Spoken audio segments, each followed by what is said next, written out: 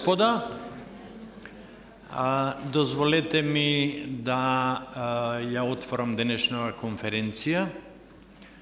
Сакам да им се заблагодарам на сите кои ја прифатија поканата да учествуваат во една размена на мислења за нешто што е исклучително важно за сите нас. Особено сакам да им се заблагодарам на а, модераторите и учесниците во панелите денес. А, жалам што а, господјата Тевута Арифи, заменик председател на владата, надлежна за европски прашања, денес поради презафатеност не можеше да ни се придружи. А, и дозволете ми да одвојам само малку, да одземам само малку време, подсетувајќи дека денешнава конференција а, е од исклучителна важност за сите нас, ако сакате и суштински, меѓутоа и символички. А незината символичка важност се состои во фактот дека таа е првата од низата настани со кои се одбележува 20 годишнината на активностите на Фондацијата Отворено општество Македонија во Република Македонија. Исто така 10 годишнина од основањето на Македонскиот центар за европско образование, еден посветен партнер во сите наши напори да придонесеме за пристапување на Република Македонија кон Европска Унија.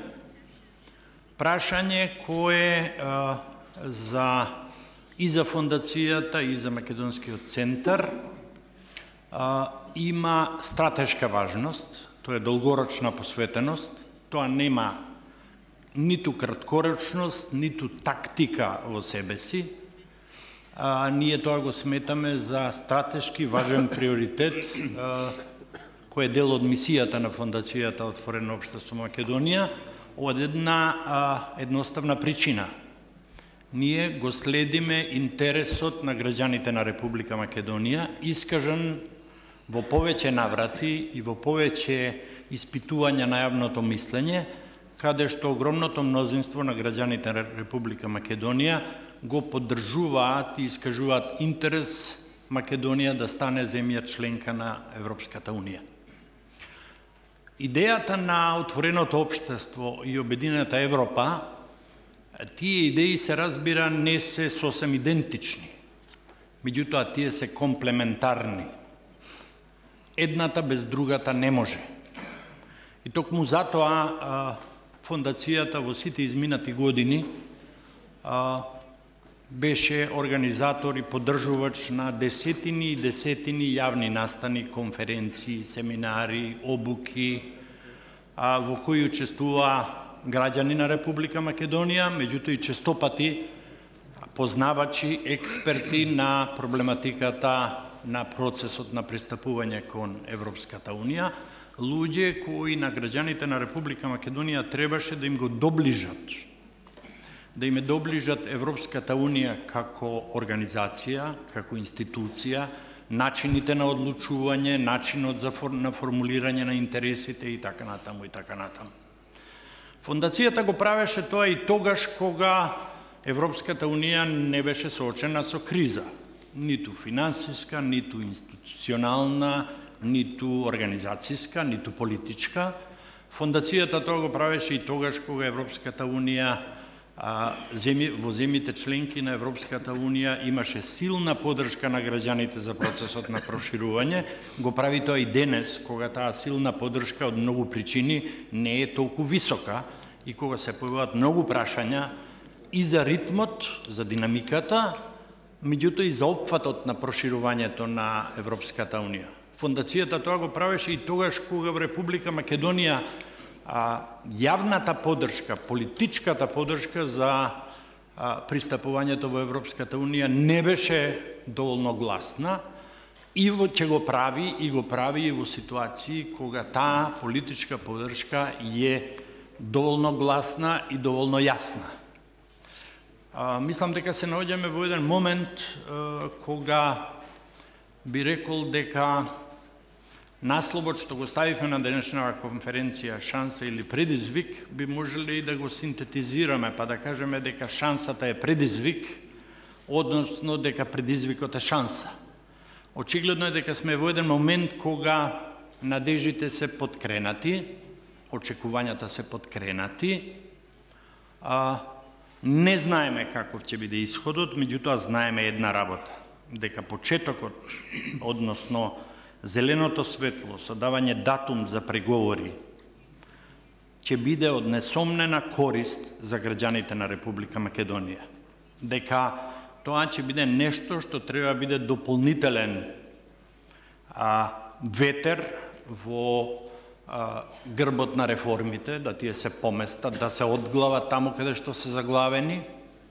И дека а, нашиот а, сета активност, па ако сакате и сите очекувања и надежи, најпосле ќе дојдат до некакво свое закружување, дека ќе зачекориме во следната етапа, за која знаеме дека не е ниту лесна, ниту едноставна, веројатно не може да биде ни краткорочна, а, не може да биде некаква трка на долга патека. Ние веќе научивме дека изгледа дека маратонот е наша дисциплина може би различен од спортските маратони во таа што во тој маратон има и пречки, па личи на маратон стипл чез.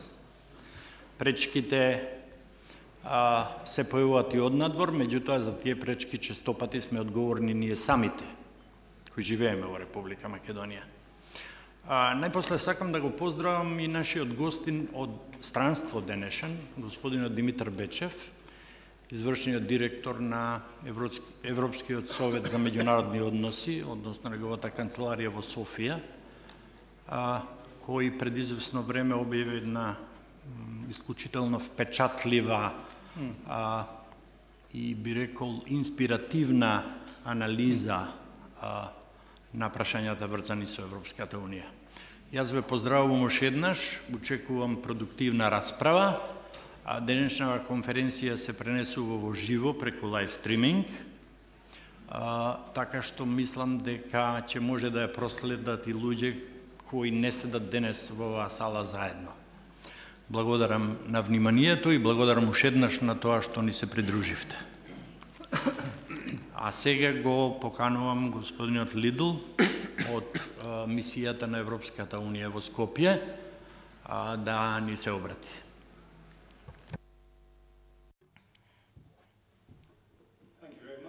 Благодарам многу и благодарам што дојдовте утринава. Кога дојдов бев и изненаден за големината на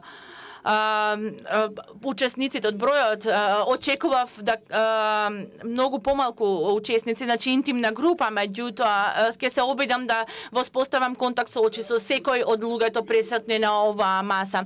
Главната цел на мојот говор не е да кажем многу, туку да ви овозможам да дискутирате за извештајот за напредокот. Тој беше напишан и анализиран од страна на Македонскиот центар за европски српско образование и сите ги прочитаа овие анализи во голем детал. Мислам дека е важно да се има на ума што беше кажано во самите препораки и комесарот кога а, зборуваше во Европскиот парламент рече дека тој а, ја гледа четвртата препорака за почеток на преговори, меѓутоа ги гледа работите во, во друга перспектива и дека ќе гледа истите работи да се направат на поинаков начин овој пат. Треба да имаме на ум дека постојат многу исти работи што треба да се направат, меѓутоа тоа да се биде на по да се направи на поиновативен начин а, пред а, советот во декември. Меѓутоа треба да се има а, на ум исто она што комесарот и друг го кажа во самиот извештај за напредокот дека во сите земји од Западен Балкан и дека ке во фокусот ќе биде слободата на медиумите на секаде, не само во овој регион, а тоа е едно прашање кое што треба да се унапредува и понатаму. Наместо да гледаме на назе, на назад, ајде да погледнеме нанапред и да ги видиме можностите што ни се дадени со давањето на оваа препорака. Меѓутоа, за да се постигне тоа, за да се постигнат позитивни резултати, мислам дека утринските дискусии, овие дискусии всушност ќе ќе кажат што треба да биде направено, треба да има да се направи одреден напредок помеѓу денес и декември и со тоа треба да се да се допре до до Брисел и до соседите за да се загарантира дека сите грижи и проблеми се решени соодветно и дека коментарите кои што доаѓаат од Бугарија и меморандумот од Грција се соодветно решени бидејќи вие треба да го направите сето тоа меѓутоа поинтензивно. Да се направат истите, да се направат работите различни, треба подразбира вклучување на невладиниот сектор многу повеќе. Јас ми, кога доаѓав а, овде ми дадоа еден говор што е напишен, меѓутоа ќе кажам пред да седнам дека постои правило а, за невладините организации пред да разговараат меѓу себе преку граници, не, че значи, не само разговори помеѓу владата со владата и парламентот со парламентот, туку дека невладините организации имаат интерес да зборуваат едни со други, подобро да разбираат ситуацијата и да се почитуваат едни со, со други и заеднички да ги решаваат прашањата што може би се реални или не се реални, меѓутоа се перцепирани како такви. И за тоа треба да се да се о, да се да се премостува оваа празнина до почетокот на и по почетокот на преговорите. И и гледам дека ова премостување треба да се направи прекогранично со за, да се гарантира дека постои вистинско разбирање на а, а, односите, а, добрососедските односи и а, вие треба да се соочите со, со своите а, соседи и овие пораки да бидат испратени подалеку и пошироко. А, а, како вие треба да имате своја улога во овој процес, треба да ги објасните своите грижи и своето разбирање на ситуацијата.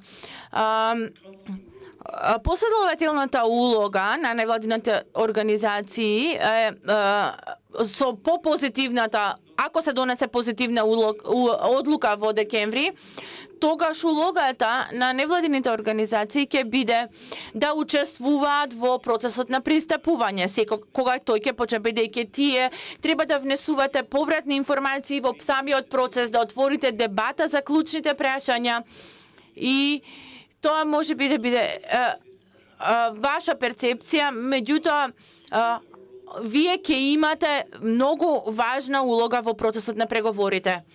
И затоа со, со спроведување на вашата работа во граѓанскиот сектор ќе придонесете многу во овој процес исто така. Мислам дека комесарот кога ги презентираше за грижите, грижите зошто ја дава препораката, значи треба да се одржи нивото на реформи, темпото на реформи, треба да се избегне а, реверзибилност на самиот процес на, на реформи во државата и треба да се зајакнат меѓуетничките односи и тоа го гледаме како а, овој процес на пристапување треба да ни помогне а, не да ги реши овие проблеми, туку да помогне во нивното решавање. Без оглед дали е шанса или предизвик, а, а, како вработен во Генералниот директорат за проширување, за нас не е предизвик, туку е огромна сериозна шанса. Она што треба да се направи е многу. Вие имате ваша улога во сето тоа, владата треба да има улога во тоа, политичарите и сите треба да имаат шанса да се изразат себе си и да дадат свој допринес.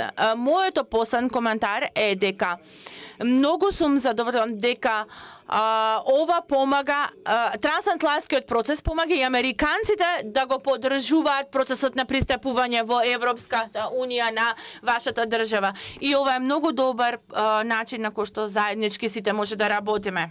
Ледел, особено за поканата да се вклучиме активно во процесот. А, ние сметаме дека е тоа наша должност. А, Исто така сметаме дека процесот не може биде успешен без инклузивност и ова е едно а, одлично охрабрување што го добиваме денес.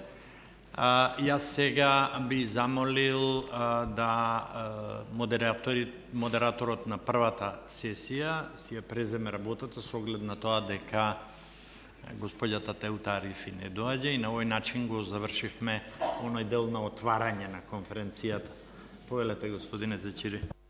Благодарам, господин Милчин.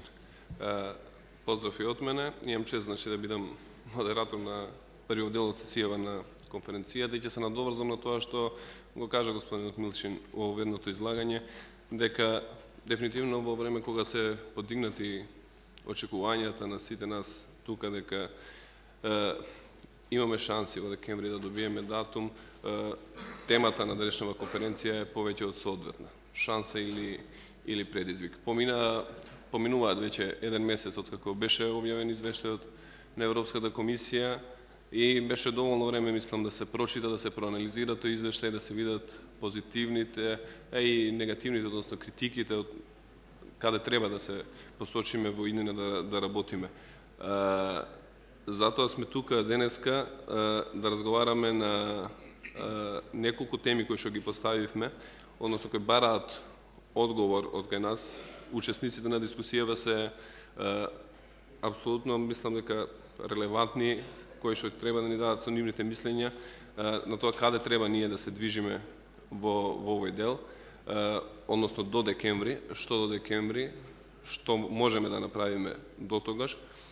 Една од темите што ја поставивме тука за која требаше да разговараме беше што со грчкиот меморандум исто така но последните информации говорат дека ние веќе на тој меморандум денеска сме одговориле, иако не ја знаеме содржината на, на одговорот, затоа тука имаме представници на партијата на власт, па може би ќе ни долови нешто повеќе и по конкретно што содржи тој, тој одговор. Ќе имаме прилика да го слушнеме сигурно господинот Антонио Милошовски кон крајот на ова дискусија. Јас да не должам многу, ќе морам да потенцирам дека ќе ги замолам дискутантите да се задржат до нивните говори да бидат не подолги од 10 минути нивните излагања во интерес на времето, а исто така после завршувањето на нивните дискусии и сите вас апсолутно ве повикуваме да учествувате активно и вашите говори исто така да бидат да бидат ако може кратки и концизни за да дадеме простор на сите присутни тука. И јас на почетокот би го повикал господинот Васко Петревски, колегата од Неделникот Граѓански, со неговото излагање, па ќе продолжиме со останатите учесници. Благодарам Мухамед, поздрав на сите. Таа дилема која што денеска ни ја создаде дел од дневниот печат, дали е, дали не е испратен меморандум, се уште трае. Еве пред почетокот на оваа конференција јас го контактирав нашето Министерство за надворешни работи и е, одговорот на моето прашање дали дефинитивно е испратен одговор на меморандумот, одговорот беше наскоро ќе биде испратен. Дали денеска, значи тоа е, нема, не, нема одговор, така што ова е, е официјалниот одговор кој што го добив пред 15 сетина минути, се надам дека е, е, е релевантен. Дали ќе добиеме датум за преговори во декември и веднаш на почетокот да кажам не. Датум за почеток на преговорите во декември Република Македонија нема да добие. И тоа можам да го тврдам со голема известност, но има една голема додавка. Тоа не значи дека планот на Европската комисија и на група земји членки е пропаднат. Туку значи дека тој во првата фаза предвидува нешто друго – предвидува меѓу решение кое што има работен наслов датум за датум. Тоа значи деблокада на процесот во декември и најава за можен е, почеток на преговорите во јуни. Тоа е на некој начин веќе испробан рецепт со е, Црнагора. Минатата година, на крајот на е, годината, таков тип на заклучок доби Црнагора, бидејќи во тој момент Шведска, Франција, а до некаде и Холандија беа против отворање на преговорите со Црнагора веќе во декември 2011 година. И е, земите членки се решија на еден заклучок во кој што најавија дека имаат намера да ги почнат преговорите со Црнагора во јуни, условувајќи својата позитивна одлука со резултати на планот на подобрување на состојбите во судството, борбата против корупцијата и криминалот, односно поглагата 23 и 24 во овој меѓу период од декември до јуни во Црнагора. Лидерите на Европската Унија ги задолжија министрите на, на своите земји членки врз основа на посебен извештај кој што а, требаше да го подготви Европската комисија да ја преоценат состојбата и уште еднаш да излезат со оценка дали Црнагора е подготвена за почеток на преговорите, така и се случи. Европската комисија во првата половина од оваа година излезе со нов извештај за Црнагора, оцени дека земјата на задоволителен начин го исполнила тоа што се барало од неа според заклучоците од декември. И Црнагора во јуни го доби датумот и веќе во јуни ги отпочна пристапните преговори. Ова, уште еднаш ќе кажеме, е најдоброто можно сценарио на кој што може да се надева Република Македонија во декември и според последните информации кои што доаѓаат од Брисел и од земјите членки практично она на што се работи во овој момент е обезбедување на консензус за овој тип на, на, на за оваа варијанта. Ако е, заклучокот во декември за Република Македонија е, каже дека намерата на земјите членки е во јуни да се почнат е, преговорите за членство, во меѓувреме во тие 6 месеци веројатно од Република Македонија ќе се бараат резултати на планот на добрососедството. И тука сега не само во односите со Грција, туку и во односите со Бугарија, секако дека остануваат оние задачи кои што се дел од патоказот и дел од пристапниот диалог на, на високо ниво, за кои што и досега веќе стана збор на оваа конференција, како задачи кои што владата ќе мора да продолжи да ги е, исполнува за е, да имаме што покредибилно досие на самитот во е, јуни. Гледам дека дел од дилемите кои што денове се појавуваат е дали евентуална таа условеност декември-јуни ќе бара е, решавање на прашањето зимето во тој меѓу период. Ако прашањето зимето биде поставено како директен услов во јуни да добиеме отворање на преговорите, тогаш мислам дека дефинитивно нема да има никаков напредок, бидејќи тоа ќе биде еквивалент на тоа што и досега го добивавме како заклучоци. Така што мислам дека таа варијанта би рекол е на, на некој начин во, во, во втор план и дека многу повеќе се работи на таа другата варијанта во која што ќе се бараат некакви гестови на добра волја, некакви мерки на градање доверба од страна на Македонија кон Грција и кон Бугарија во периодот од декември до а, јуни. Ке се бара а, одново враќање на преговарачката на преговарачката маса за името, интензивирање на а, преговорите, видлива ангажираност, особено на македонската страна во тој преговарачки процес, и како прв елемент во таа смисла се сметаше конструктивен одговор од македонска страна на грчкиот предлог меморандум. Најверојатно тој одговор е веќе подготвен. Македонската влада и не криеше дека ќе го подготвува во соработка со, со консултирајќи се со своите пријатели во меѓународната заедница, пред се со Европската а, комисија, за да биде сигурна дека а, одговорила на начин кој што ќе овозможи процесот да продолжи во насока во кој што е посакуван за Република Македонија. кои се предизвиците за овој план со работен наслов датум за датум да успее? Ги има три и трите се земји. Првата е Грција, втората е Бугарија, третата не е ни Кипар, не е ни Франција, не е ни Шпанија, третата е Македонија. Грција и Бугарија ќе ги а, скокнам, предпоставам дека во текот на дебатата така ќе имаме шанса да, да, ги, да ги дебатираме повеќе. Господинот Бечев, предпоставам, ќе се осврне на повеќе на, на тој аспект. А, Република Македонија. И сега големото прашање кое што а, се отвора, особено после вчерашната изјава на министерот за надворешни работи Никола Поповски е дали Република Македонија се согласува со планот на Европската комисија. Јас само ќе ви прочитам еден сегмент од изјавата на министерот Поповски дадена вчера, во кој што тој вели Процесот на интеграција во Европската Унија мора да биде фиксиран врз оние правила што се дадени во правната рамка на Унијата, и таа нема никаков интерес да комбинира билатерални прашања со прашања поврзани со динамиката на интегрирањето. Не смееме да дозволиме таквото правило да биде прекршено во овој случај.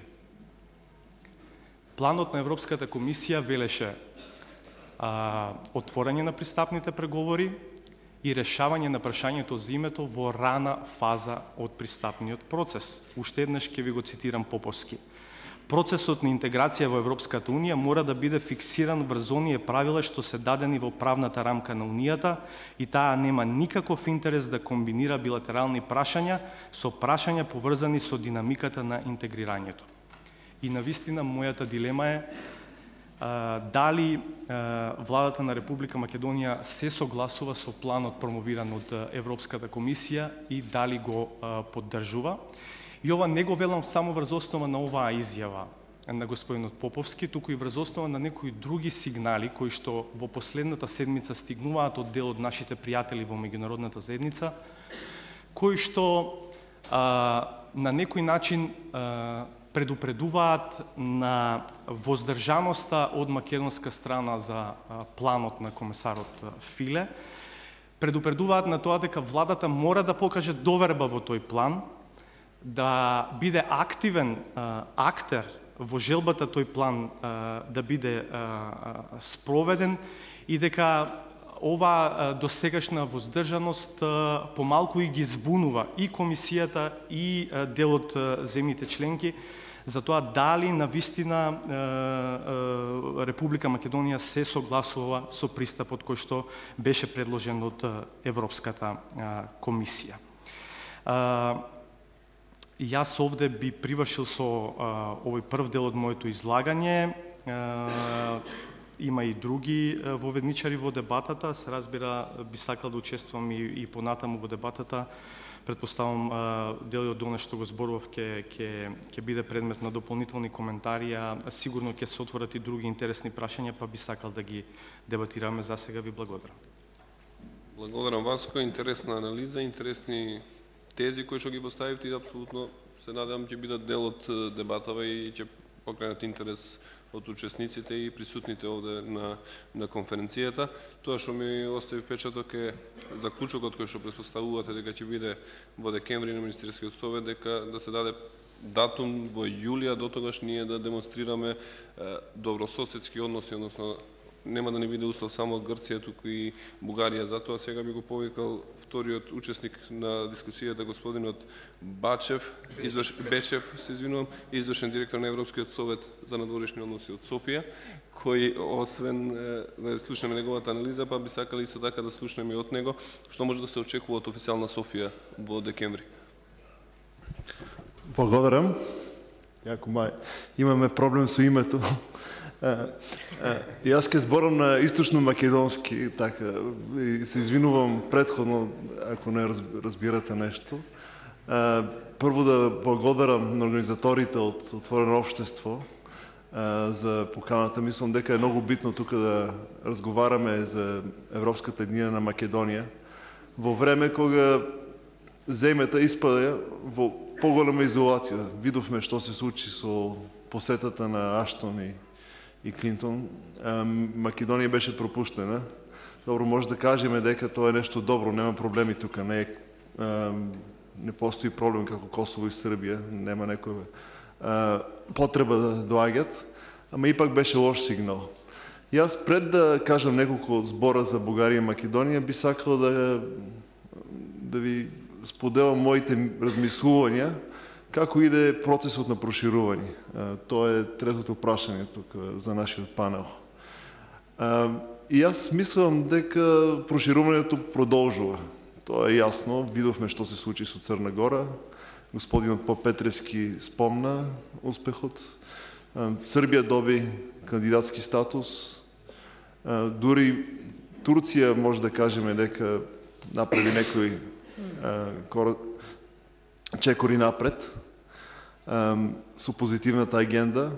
Косово исто напредува, има перспектива да добие патна мапа за визна либерализација. Дури бев присутен кога комисарот Филе спомна дека Косово ќе биде идна иден член на Унијата. Беше многу позитивен сигнал. До сега само се збореше за перспектива, сега Косово дури е член. Така што мислам дека постои динамика.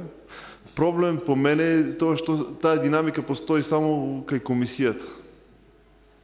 И јасно е дека таа има интерес да продолжува процесот, но не гледам истата динамика кај земите членки дали има критична маса таму. И тоа е едно многу битно прашање. Кои се пријателите на Македонија во Советот?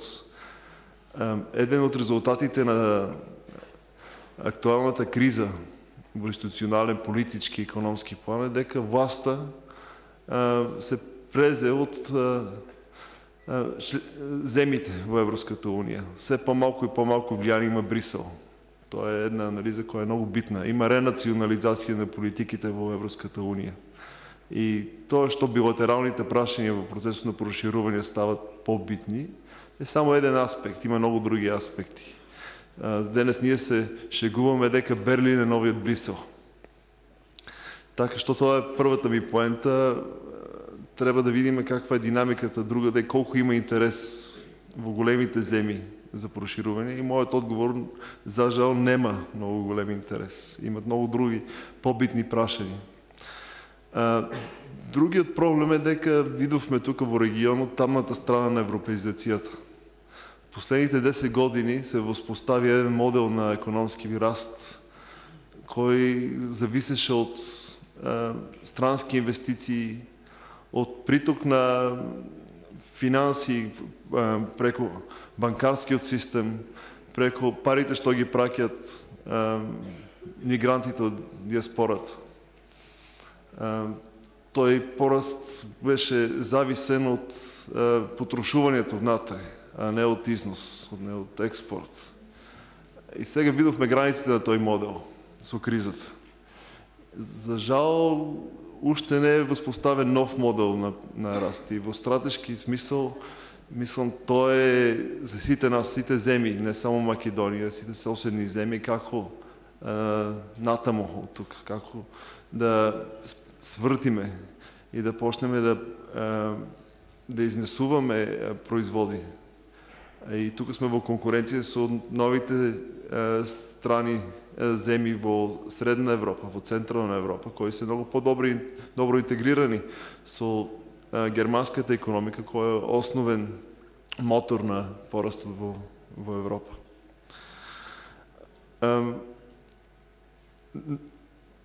Другиот проблем е чисто политички. Имаме проблем дека големите земји немат интерес, но И јас мислам дека уште поголем проблем дека елитите на Балканот исто немат интерес од напредување на процесот. Тука мислам дека ќе може да расправаме и за Македонија, дали тоа е случајот. Многу често на приметуваме како тие елити знаат како да зборат на европски начин, Ама кога делуват, делуват на еден друг начин. Таму основната цел е консолидација на власта во домашен план, за сврстување на економско клиентелистичките мрежи. И тоа е во не една земја на регионот е основниот процес. Тоест реториката нема многу голема врска со реалноста И тоа е голем проблем. Како да се види дека има суштинска воля за реформи. Дека не е само тоа европско говорење.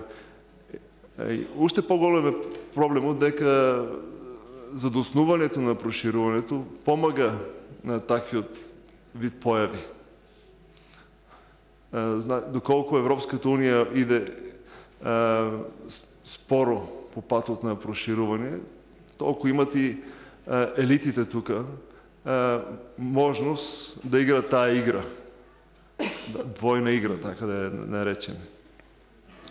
Мојот колега Андрю Вилсон објави некогаш еден извештај за неотетуизмот во Украина, во Молдова, дека сите сакаат да се работуваат со Европската Унија, но во исто време сакаат да се работуваат со сите други, со Русија во случајот. Мислам нешто е, слично наблюдуваме сега и во, на Балканот. Гледаме како Турција стана фактор. Пораката на Турција имплицитно е дека може да си надвор од Европската Унија и пак да просперираш економски. И тоа е некоја утопија која ќе зајакнува тука и сите наши елити ќе шпекулираат со таа перспектива.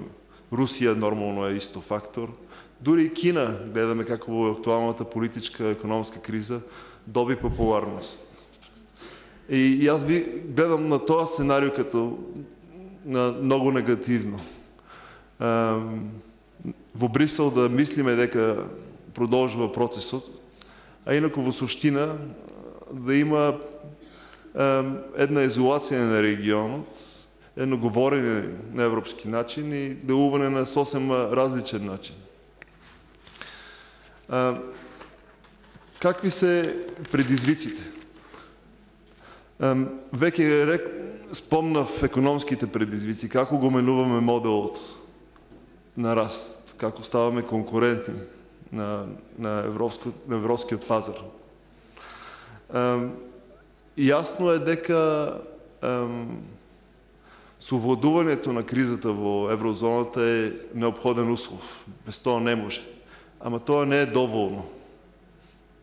Другиот услов е дека тука треба да има реформи кои ќе направат индустриите, економијата, способна да се конкурира на едно многу тешко, тежак пазар. Другиот предизвик, јас мислам, е дека самата Европа уште не е јасно каква форма ќе добие по кризата.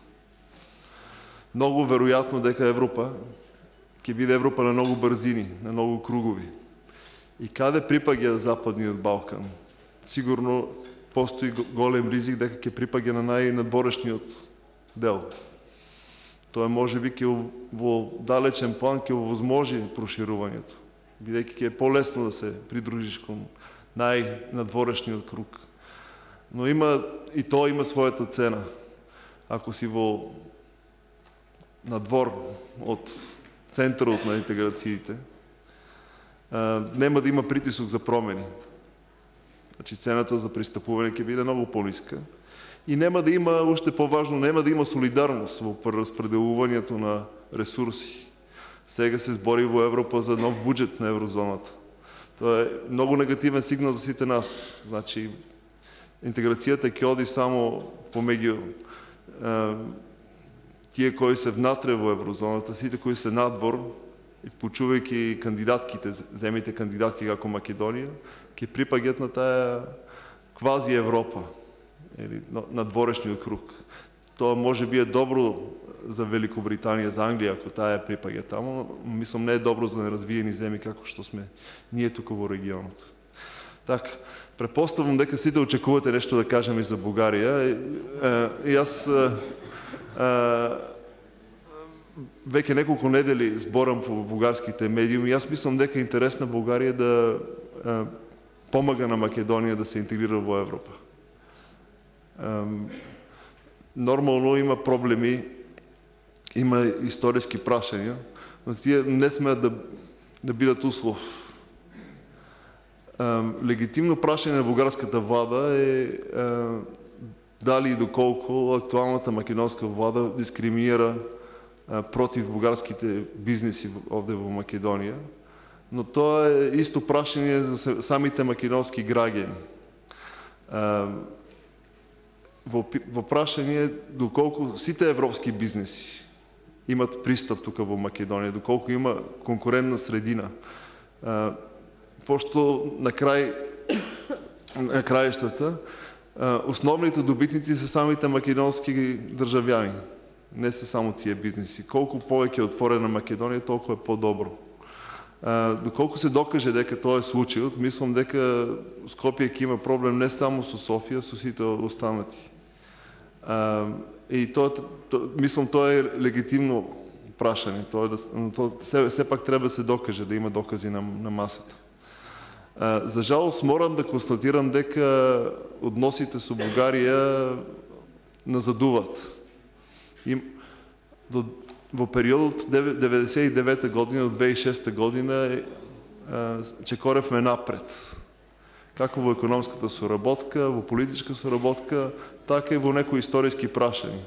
И кога се завршам само, ќе, ќе ви припомнам еден, една епизода 2006 година, кога председателите Бранко Црвенковски и Георги Парванов, познат во Бугарија како Гоце, Тоа е, тоа е друга приказка, приказна зошто е, Гот Гот Да. Но тие двајцата ставија венец на споменикот на Јане Сандански во, во Мелник, кој беше, јас мислам, многу позитивен чин. Дали е сега можно да идеме таму? Мислам не. За жал, одговорот тоа не е можно. Значи, ние треба да се вратиме на нивото што бевме 2006 година, а тоа е многу жално и се надевам дека ќе се најде заеднички јазик, нема да се стигне до вето, кој ќе изигра многу негативна улога во билатералните односи и ќе чекориме напред заедно. И пак мојата порака е дека за Бугарија колку може поевропска Македонија е клучен интерес во надворешната политика. Бидејќи таа е рамката врз која може да се развиват билатералните односи. Фала за вниманието. Благодарам господине Бечев. Се надавам името не го погрешив сега. Господинот Спомнате примерот со господинот Црвенковски, сега имаме нова иницијатива од нашиот председател да славиме заедно празник, па можда тоа ќе не врати во тие односи од 2006 кои што ги спомнувате. Ќе му дадам збор сега на господинот Антонио Милошовски, да слушнеме од вас првично дали е пратен одговор или не е пратен одговор? И дали Добро, благодарам на пред се се благодарам на доматините за поканата на оваа конференција, да ги поздравам почитуваните учесници, амбасадори и новинарите. Најпрвин би сакал да кажам неколку работи да се надоврзам на она што го почна и по Петревски и Бечев а тоа е а, самата состојба денес во Европската Унија. Европската Унија со проширувањето на 10 земји членки кои што припаѓа на поранешниот советски блок и каде што реално постоеше не само идеолошка, туку и безбедносна, територијална, пазарна и секаква друга закана во време на студената војна кон земите членки на Европската Унија и на НАТО пактот, ја заврши својата голема политичка, голема политичка задача, која што беше базирана на геополитичка потреба. Денес преостанатите земји кои што се дел од европскиот континент, но се уште не се дел од Европската унија, немаат таква геополитичка тежина. Во меѓувреме, за членувањето на поголем број на земји во Европската унија, ја стави Европската унија пред предизвик да се реформира внатрешно и да се прилагоди на функционирањето со поголем број на членови во своето семејство. Истовремено, денешната економска криза е дополнителен фактор кој што ја прави а, темата проширување на Европската Унија политички непопуларна. Во Германија, во Холандија, во Австрија, во Франција и во многу други важни држави членки на Европската Унија. За разлика од тоа, кога беше популарно во Сојузна република Германија и кога поранешниот канцелар Кол лицитираше со датуми колку побрзо ќе влезе Полска и Чешка во Европската Унија и тоа за германскиот гласач беше примамливо и атрактивно. Денес, доколку има таков канцелар кој што истото би го зборел за Македонија, за Србија, за Турција, за Црнагора, за Албанија или за било кој други земји, сигурно тоа нема да му донесе дополнителен број на гласови за на неговите следни избори.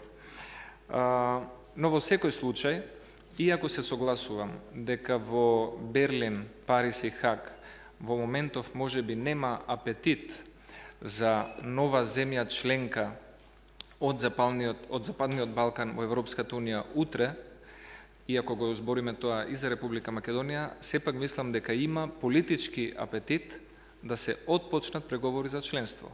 Утре и тие преговори за членство во некој просек може да траат 5 или 6 години и да доведат до да не донесат до една позиција во која што ќе се оствари членството на државата во Европската Унија. Но прашањето е дали Република Македонија во декември има шанси да добие одлука за отпочнување на преговорите за членство. Моето мислење е дека Македонија има многу добри шанси во декември да ја добие одлуката за отпочнување на преговори, која што ќе биде условена со дополнителен број на реформи и вклучително и добрососедски односи како еден не сосема дефиниран критериум, но критериум во кој што се очекува покажување на добра волја, еден пробен период од 6 месеци до следниот јуни 2013 година, кога официјално би можеле да очекуваме почеток на преговорите за членство. Но, ова може да се случи, но не може да кажеме дека е сигурно и со гаранција, бидејќи има повеќе фактори кои што беа и предходно споменати, а тоа се соседните земји членки на Европската Унија. Што е различно денес од тоа што беше пред состојба пред една или две години? Го имаме истиот комесар, Штефан Филе. Ја имаме истата влада во Република Македонија а, ги имаме истите задачи, реформи и имаме, да кажеме, сличен или ист извештај кој што дава препорака. Денес сметам дека различното е што и самата Европска комисија македонско-грчкиот спор за името а, веќе не го согледува како мотив плюс за да не се отпочнат преговорите, туку го согледува како причина плюс за да се отпочнат преговорите за членство. Бидејќи ситуацијата на перманентна блокада и перманентно статус-кво на нерешавање на прашањето, очигледно е дека не беше плодотворна. И сметам дека отпочнувањето на преговори за членство може да создаде многу подобра клима за подобрување суштинско на македонско-грчките односи и следствено на тоа и напредок во однос на разговорите по билатералното прашање. Што треба Македонија да направи до декември? Мислам дека треба да има засилено лобирање, засилени разговори со нашите соседи, со нашите пријатели, со Европската комисија и тука не треба да се измислува ништо ново, треба да се користат два меѓународни и објективни документи. Првиот е извештајот на Европската комисија, И вториот, особено по однос на одговорот на меморандумот од страна на Македонија кон Грција е а, пресудата од Меѓународниот суд на правдата во Хак и времената спогодба. Тоа не се новитети, тоа се нешта во кои што е запазен духот на а, желбите на двете држави да се стигне до решение, но истовремено да се почитуваат превземените обврски и врз основа на тоа почитување да се гради довербата дека едно заедничко решение би било праведно, достоинствено и трајно одржливо, без да ги повреди националните интереси на а, Македонија и Грција како соседи. По однос на а, меморандумот во Македонија имаше дилеми, дали тој предлог меморандум за разбирање од страна на Грција треба да се отфрли или треба да се прифати. Јас мислам дека ниту тој предлог, предлог меморандум треба да се отфрли, ниту апсолутно да се прифати и добро е што владата на Република Македонија и Министерството за надворешни работи одлучија да го испратат одговорот во кој што на тој предлог меморандум ќе се одговори со дополнителни предлози, сугестии, забелешки, напомени, укажувања, принципи кои може би намерно или случајно биле пропуштени во предлог меморандумот од страна на соседна Грција. Отфрлањето на тој меморандум ќе беше една незрела постапка на која што може би ќе се радува некои националисти во а, Атина или во нашата држава, се едно, но одговорот на тој предлог меморандум кој што очекувам да деновиве да биде и достапен за јавноста, сметам дека е еден правилен потек.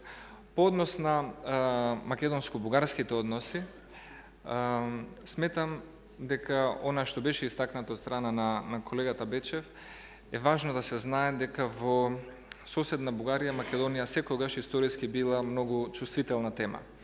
И може би за за жал на, на историската судбина сме се нашле на различни граници за време на студената војна и тоа дополнително ги има засилено предрасудите од едната кон другата држава, затоа што кога врнеше дошт во Москва, во Бугарија имаше наредба да се носат чадори, но не беше ништо различно по однос на социјалистичка Југославија во односите Белград-Скопје. И секогаш кога односите Белград-Москва или Југославија и Советскиот сојуз ќе беа заладени, дел од фронтот се водеше, условно кажано, медиумски, академски, политички, економски, се водеше и на таа линија Македонија против Бугарија или Бугарија против Македонија. Најдобар пример за тоа е што ние и ден денеска, како последица на таа геополитика од студената војна, немаме нормално инфраструктурно поврзување. На две, двата најблиски би рекол главни градови во регионот не се поврзани со железничка линија, ниту пак Скопје е поврзано со железничка линија со соседна Албанија, затоа што за време на студената војна едноставно не се инвестираше во а, на, на таа линија исток-запад, единствено беше возможена линијата на функционирање север-југ. И а, по однос на а, таа ситуација на а, заеднички чествувања или нешто нешта кои што би можеле да бидат сближување на македонскиот и на бугарскиот народ, а со тоа и да дадат дополнителен поттик и продлабочување на односите, јас сметам дека таквите постапки треба да а, дојдат од а, базата кон врвот, и а, нормално тоа да биде а, и политички продуктивно.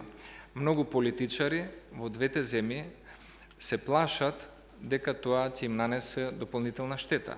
И за разлика од тоа, па многу опозиционери, не во класична политичка смисла на зборот, но опозиционери на било какви идеи или проекти, би искористиле таква шанса да направат дополнителен политички капитал, критикувајќи нешто што може да биде оправдано или, или долгорочно продуктивно и за двете земји. Но, само како како еден мал пример дека меѓу луѓето тоа се случувало и ќе се случува, може да и дека е секогаш подобро кога тие иницијативи не се наметнати, туку кога доаѓаат од самото општество, е примерот што сме го имале јас и Димитар Бечев во 1998 или 99 година, како надежни планинари тогаш на искачувајќи ги врвовите на Пирин планина, сме се поклониле пред гробовите на двајца познати македонски револуционери. Без од тоа да правиме голема фама, во едно добро расположение, со добро друштво. И мислам дека тој е начинот како обштествата и граѓаните можат дополнително да ги сближуваат и меѓусебните а, заедници, но исто така да даваат и одредена порака до а, своите политички лидери во, во нивните држави. Како и де, Бугарија историски, ако ги земеме Балканските војни, Првата светска војна, па и Втората светска војна, во тие клучни моменти има направено на вистина стратешки грешки, по однос на, на политиката кон Република Македонија и тоа било штетно и за едната и за другата држава. Мислам дека стратешки добрата одлука која е на некој начин поправка на тие грешки од предходно беше донесена 91 година кога го имавме признавањето на независноста на Република Македонија и сега имаме повторно една добра прилика Бугарија да донесе сериозна и позитивна одлука и да даде целосна поддршка на почетокот на преговорите на Република Македонија за членство во Европската Унија. Тоа прашање би било, таквата постапка би била оправдана и би била продуктивна за двете земји, но истовремено не треба да се заборави дека во соседна Бугарија следната година во мај или јуни треба да има парламентарни избори и дека сега некои прашања и од надворешната политика добиваат и внатрешна политичка димензија. Од една страна ги имаме социјалистите како опозиција и со внимание го прочитав текстот на европратеникот Вигенин, кој што ја изнесува својата критика кон актуелната влада на Бојко Борисов токму зборувајќи за односот кон Македонија како еден неуспешен обид на нивната влада да ги приближи односите и предлага дека неговиот предлог е дека Бугарија треба да даде поддршка на почетокот на преговорите. Од друга страна го имаме и поранешниот колега и се уште актуелен министер Николај Младенов, кој што имаше пред неколку дена настап во Благоевград, на кој што го отвори македонското прашање, се со цел да го тестира пулсот на јавноста како би требало да се постави Бугарија во декември.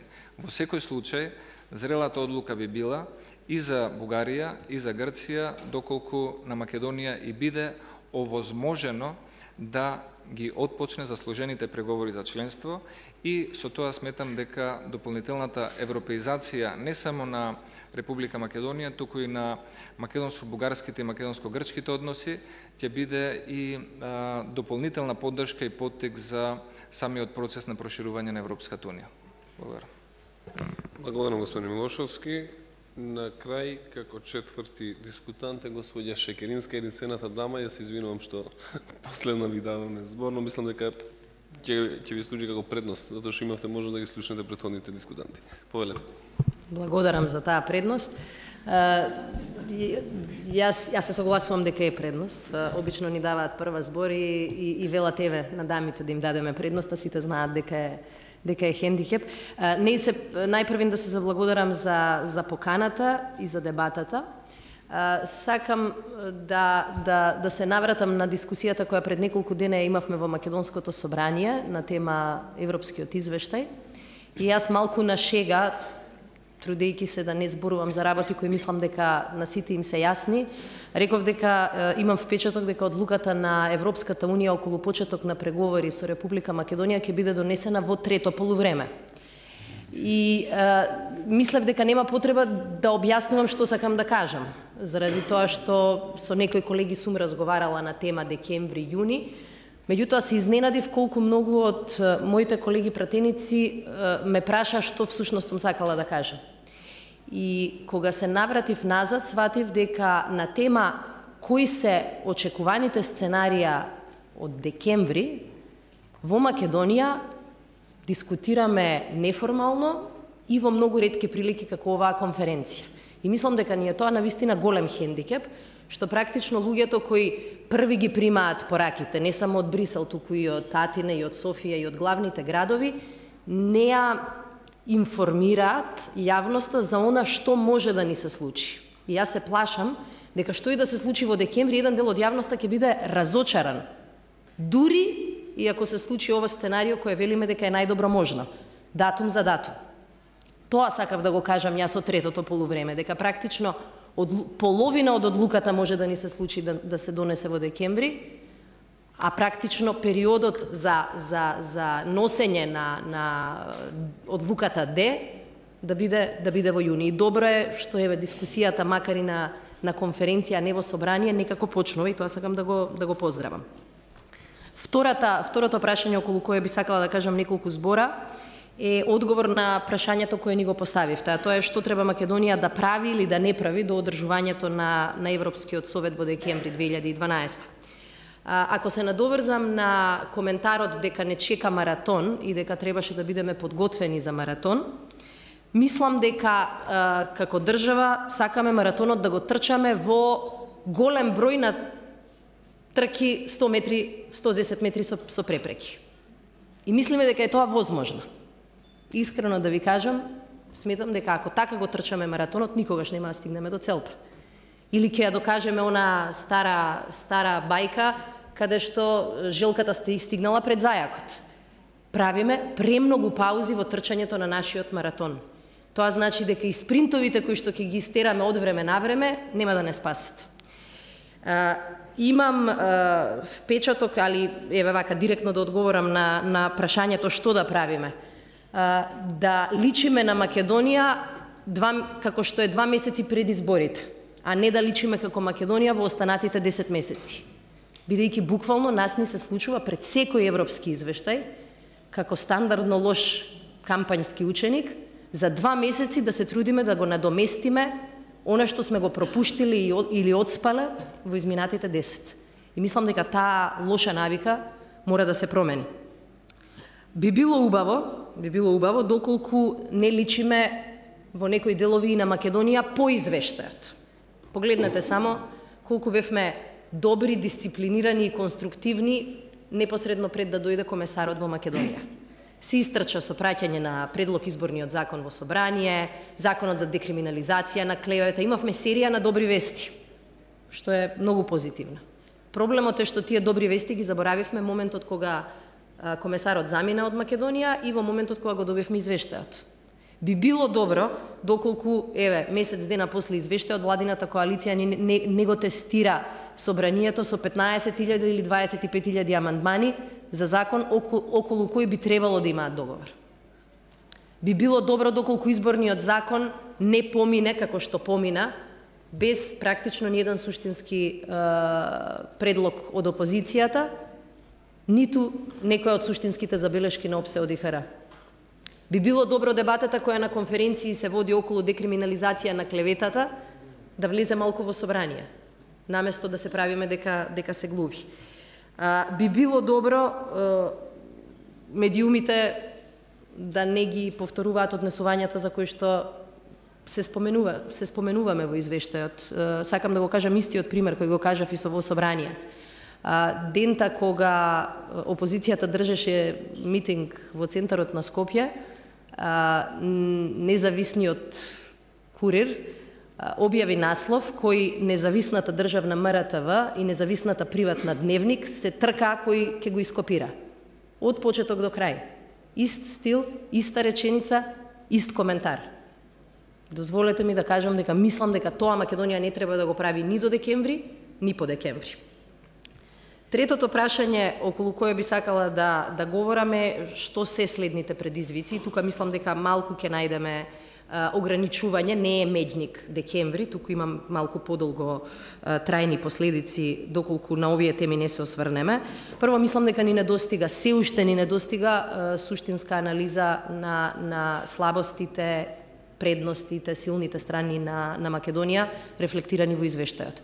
Имавме обид на седници на комисиите во собранието, мислам дека тоа не е доволно а, се ја свртивме дискусијата во, во, во на темата дали е ова нај-нај или најпозитивниот или непозитивниот извештај за Македонија. Мислам дека е тоа, дозволете ми, погрешна погрешна одлука.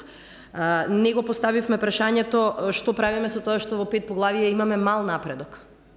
Не се незначителни тие поглавја, него поставивме прашањето зашто напредокот е во четири поглавија ограничен. Зошто имаме поголем број на поглавија каде што напредокот не е видлив, отколку таму каде што напредокот е поздравен како добар. Не само за да ги почнеме преговорите, туку во преговорите да влеземе со минимална временска предност. А, вториот предизвик, кој мислам дека е пред нас, а, а, се однесува на најдоброто можно сценарио, а тоа е да почнат преговори. Декември, јуни, следната година веќе и небитно. Ке го цитирам тука и комесарот и она што го кажаа различни представници на комисијата, дека Европската комисија е подготвена без одлагање да предложи преговарачка рамка за Македонија. И мислам дека е ова одлична вест. Имам едноставно прашање. Дали можеме истото да го повториме за Македонија? Дали утре, ако се разбудиме и видиме дека комисијата е подготвена да ги почне преговорите, дали ние ќе имаме тим, стратегија и план за оние кои што ќе седнат од другата страна? Жалам што по ова прашање морам да, да бидам песимист. И третиот предизвик, и јас на вистина не сметам дека е тоа предизвик само, само до декември, без разлика што то, до тогаш ќе гори прашањево, тоа понатаму ќе, ќе продолжи да не мачи, Тоа е темата на нашите билатерални е, односи со соседите и тука сакам да, да кажам неколку збора и за, и за Грција и за Бугарија. Денешната дискусија која на вистина мислам дека дека ќе ни помогне на господинот Бечев, ни покажува колку малку говориме на темата македонско-бугарски односи. Даваме изјави за македонско-бугарските односи, тоа да. Даваме коментари, ама говориме многу ретко.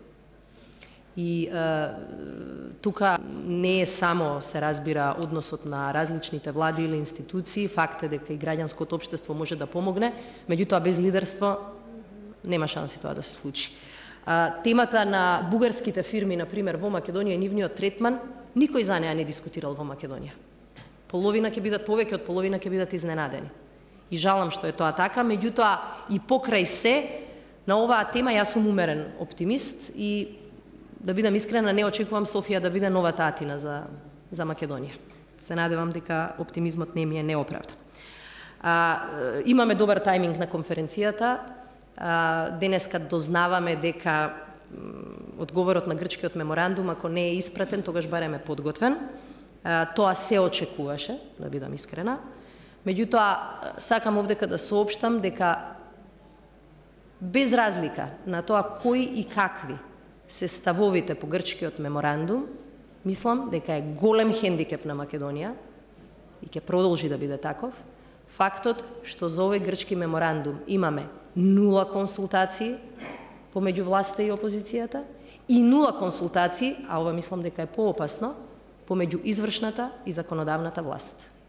На вакви теми во Македонија не сме и не може систематски да се молчи.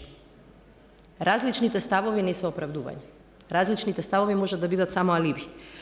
А, значи, велам, нејасно е дали одговорот стигнал во Атина или не, меѓутоа јасно е дека тој одговор нема да биде одговор на консултирани политички фактори во Македонија. Нешто што Грција никогаш не го правеше. И тоа ја правеше грчката позиција многу посилна, многу помоќна, доминантна а, во спорот. Мислам дека одсуството на елементарни консултации создава кај сите резерви денеска не утеши колегата Милошовски, ке го знаеме на, набрзо одговорот, се согласувам, грчките медиуми веднаш ке го објават. Ама не е во ред, а берите да ги, да ги дознаваме вија, вија Атина. И мислам дека на овие теми а, мора а, да го вратиме форматот кој, иако на крај не беше продуктивен, постоеше до, до самитот во Чикаго. Тогаш не даде резултати, ама мислам дека ако зборуваме во Букурешт, да. Да, од после Букурешт престанавме и да зборуваме, така што и Чикаго го дочекавме без, без очекување. А, така што, а, велам, фактот дека не зборуваме на овие теми, покажува дека а, има нешто од, од, од што сите бегаме. И мислам дека е тоа клучен хендикеп и клучен предизвик за периодот и до и после декември. И на крај, а, Дефинитивно уште не сме спремни за, за дебатата во каква Европска Унија влегуваме, затоа што некако се уште тоа не изгледа а, далечно. А, може би денеска не знаеме во кој европски круг ќе влеземе, тогаш кога ќе влеземе во Европ, европскиот круг. А, меѓутоа, дефинитивно знаеме во кој Дантеов круг ќе, ќе упаднеме, доколку и декември и јуни ја пропуштиме шансата која што овој пат ни се создава. И мислам дека тоа треба да не прави сите и попредпазливи и повнимателни, но и поподготвени за дебат. Благодарам. Благодарам, господин Шекеринска. Имавме можност да ги слушнеме сите четворица излагачи. Им благодарам уште еднаш од моје име. А, сега е време да ви се даде простор и на вас, присутни на оваа конференција со ваше излагање. Уште еднаш би ве замолил во интерес на времето да бидете концизни и кратки во вашите излагања. Кој е заинтересиран, може да се пријави. Гледам прв господинот Билјали. Повелете.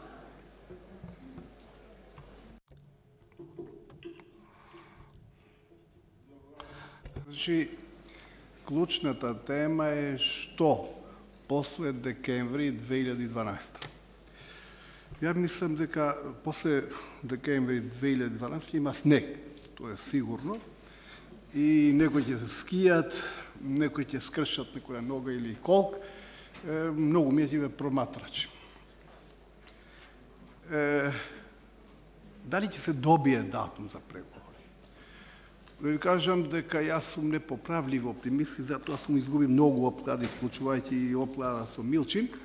И меѓутоа продолжувам да бидам оптимист и ќе кажам дека да. Но каков датум ќе добиеме, некој од дискутант го нарече датум за датум. Ја мислам дека ќе добиеме датум со која институциите на Европската Унија ќе се спасат од нас и по тоа одговорноста целосно ќе ја префрла до нас. Зошто? Затоа што 2006 година, кој никогаш немаше намера, и тој Караманлис да блокира или да стави вето, и единствено што бараше, значи, бараше пораки позитивни да се разменуваат меѓу двете држави и представници на државите, и тој истиот, значи, после две години стави вето. Значи, некој намерно ја дове ситуацијата, ги натерал, да кажем, Грција да стават вето. Не од наивност, не од незнање, туку свесно и совесно заради остварување на одредени други причини кои ние ги знаеме и може би тој ќе ги знаеме. значи, апроксимативно, Европската, институција, на Европската Унија ни кажа, бевте на пат, на асфалтен пат, и е, дури ве прогласија за лидери на интеграциите во регионот, но вие сакавте е, да свртите лево или десно у шумата, да, да берете дали печурки или јагоди и се загубивте во шумата. И загубивте многу години и сега ние ќе фатиме за рака пак да ви кажем ево кај е патот, имате асфалтен пат, значи треба само да продолжи по асфалт. Значи вашата одговорност е целоста И јас мислам дека со тоа само институциите на Европската Унија ќе се спасат од нас. Но ние нема да го решиме името. Затоа што, нели, Васко кажао што ќе случи од први е, јануари наредната година до 6 месец до јуни. Прво јас сум сигурен дека е, тие месеци ќе бидат, бар првиот дел од тие месеци ќе бидат предизборни. И тогаш ние ќе гледаме лопати секој ден и најсреќни ќе бидат продавачи на лопатите. Тогаш од тим бизнисот ќе им иде како алва. Но дека ние паметно да направиме со вакав капацитет на луѓето што не водат искрено јасно, не очекувам наспот и мојот претеран оптимизм. Второ, што е на жалост не не истражува, малку истражува, туку никако не истражува што реално ние загубивме овие седум години практично, претворени во евра, ќе излезе една астрономска сума, но најверојатно тие анализи ќе се направат отколку ќе замине возот. Ние не ја користивме позицијата раскрсница меѓу десетиот коридор и осмиот и коридорот 8. И што направивме? Сега имаме сериозна конфер... овај конкуренција на коридорот 10, тоа е коридорот 4, кој интензивно се гради и за две години практично ќе го земе целиот примат во регионот. И коридорот 8 кој веќе имаме два, две байпасинга. Едниот на, на кај Северна Грција, другиот Косово, Албанија, Јужна Србија и Бугарија. Тони Билјали, ќе значи, замолам само да привршите, затоа што да, треба да, да се даде значи, тие директни инвестиции би требало да, да, да постигнале негде околу 8 милиарди евра, но тоа си е тоа. Благодарам. Благодарам. Господинот Дане Талески се јави, па вие сте Да, благодарам. Се обидам да бидам краток во интерес на времето. Прво честитки до организаторите за една многу навистина потребна дискусија и добра организација и до сите панелисти за нивните коментари и воведи. Ја имам две прашања до господинот Милошовски. Прво сакам да се да го поздравам неговиот гест и присуството на оваа дискусија. Се надевам дека во иднина тоа ќе го гледам и другите негови сопартници да го следат тој пример и почесто да одговараат на поканите да бидат присутни во дискусиите со различните чинители. А, и се согласувам со нешто што беше кажано дека треба доста да одработиме ако сакаме да го добиеме датумот и почнувањето на преговори во декември, но не е доволно само да се одработи во надвор во однос на лобирањето и барањето помош од а, сосема се согласувам со Димитар Бечев дека центрите, односно главните градови во неколку држави или во повеќе држави се клучни за тоа, но имаме и домашна задача која што треба да ја одработиме. И сега, моите прашања се за тоа упатени кон господинот Милошовски.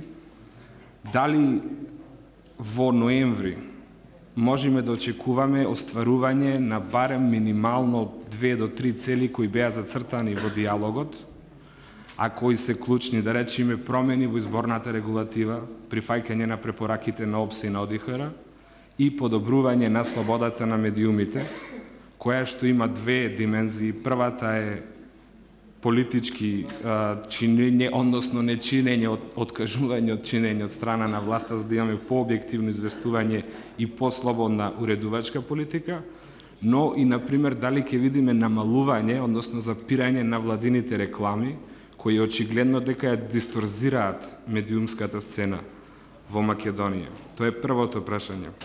Второто го упатувам кон вас како еден од креаторите на надворешната политика во Република Македонија, порано како поранешен министер за а, надворешни работи, а сега како председател на една од најрелевантните собраниски комисии од таа област и ми се однесе прашањето на последната точка тука што воили по декември, за прашањето ми е за односите со соседите и повеќе од вас коментари или објаснување како се најдовме во оваа ситуација на надворешна политика и односи со соседите.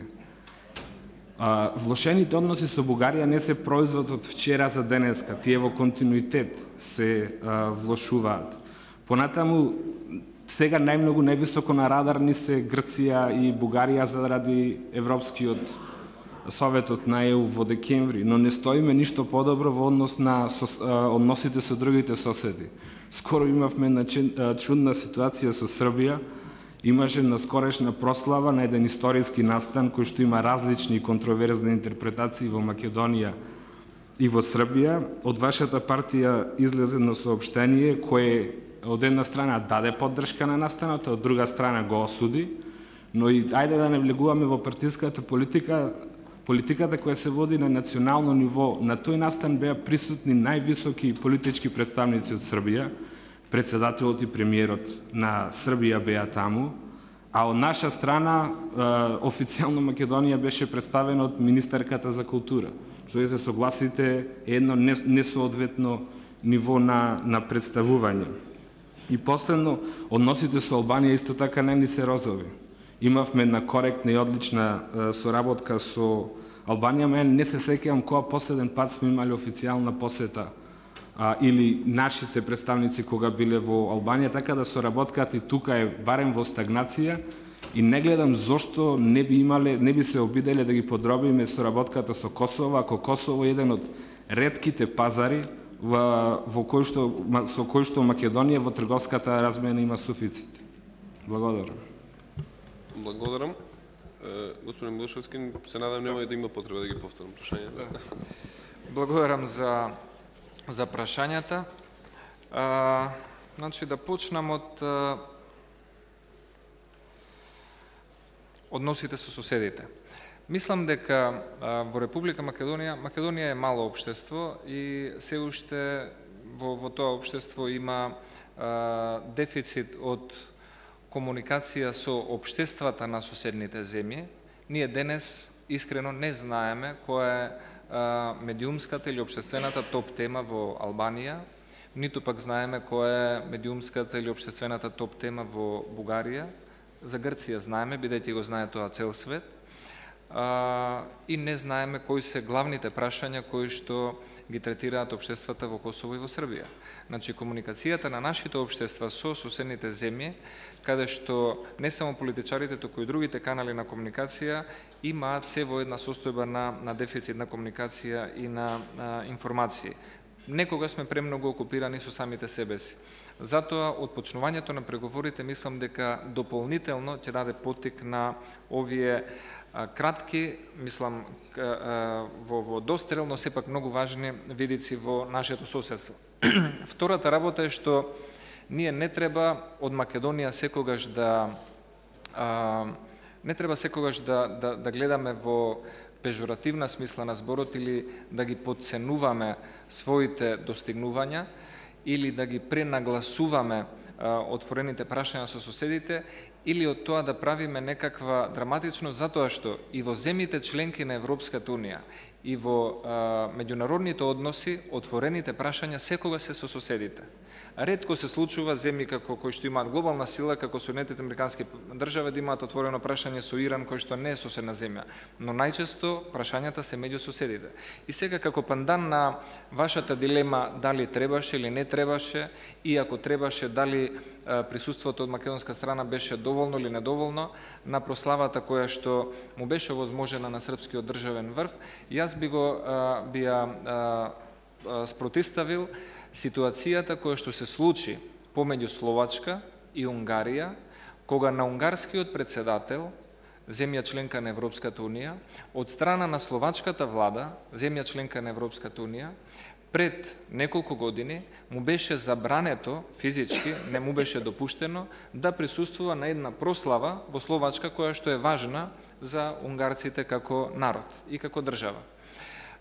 Унгарија и председателот на Унгарија Затоа вложија жалба пред судот за човекови права во Страсбург и пред судот кој што ги третира правата на, на, на граѓаните и државите на Европската Унија во Луксембург и таа жалба им беше одбиена. Односно, проценката на словачката влада тоа да не го дозволи беше оценета како легитимна но бидејќи ние не сме знаеле за тоа и тоа не било предмети на, на третман на нашиот медиумски интерес, ние денес нашите односи со соседите и нашите проблеми со соседите или отворените прашања се нашиот центар на светот. Иако јас мислам дека односите кои што Македонија ги има и со соседна Србија, и со соседна Бугарија, и со Косово, и со Албанија, и со Грција. Имаат една клучна предност, која што во меѓународните односи многу е важна, што ние со ниту еден сосед немаме територијален или пограничен спор. Македонија е една од редките земји а, која што ги има демаркирано на а, миролюбив, демократски и согласно меѓународните норми начин своите граници со соседите, вклучително и последната демаркација која што ја направивме со соседна со соседната држава Косово која што беше контраверзна тема и многу чинители во македонската политичка и медиумска јавност опонираа на тоа може би од своји лични причини, може би од причини на некои други соседни држави. Не е а, битна причината, битно е дека се покаже една максимална зрелост и се затвори тоа последно незавршено делче од македонската граница која што ја имаше својата демаркација. Бидејќи главните проблеми во светот помеѓу соседите се проблеми поврзани со границите и со територијалните спорови. Тоа е една голема македонска предност, но бидејќи ја имаме постигнато, за нас тоа не е денес не е тема. Темите преостануваат да бидат оние теми кои што се уште имаат обележена некакви отворени прашања. И јас повторно ќе кажам, единствениот поголем проблем кој што суштински попречил на Република Македонија и денес да се најде во оваа ситуација е блокадата од страна на Грција која што ние ја чувствуваме 22 години.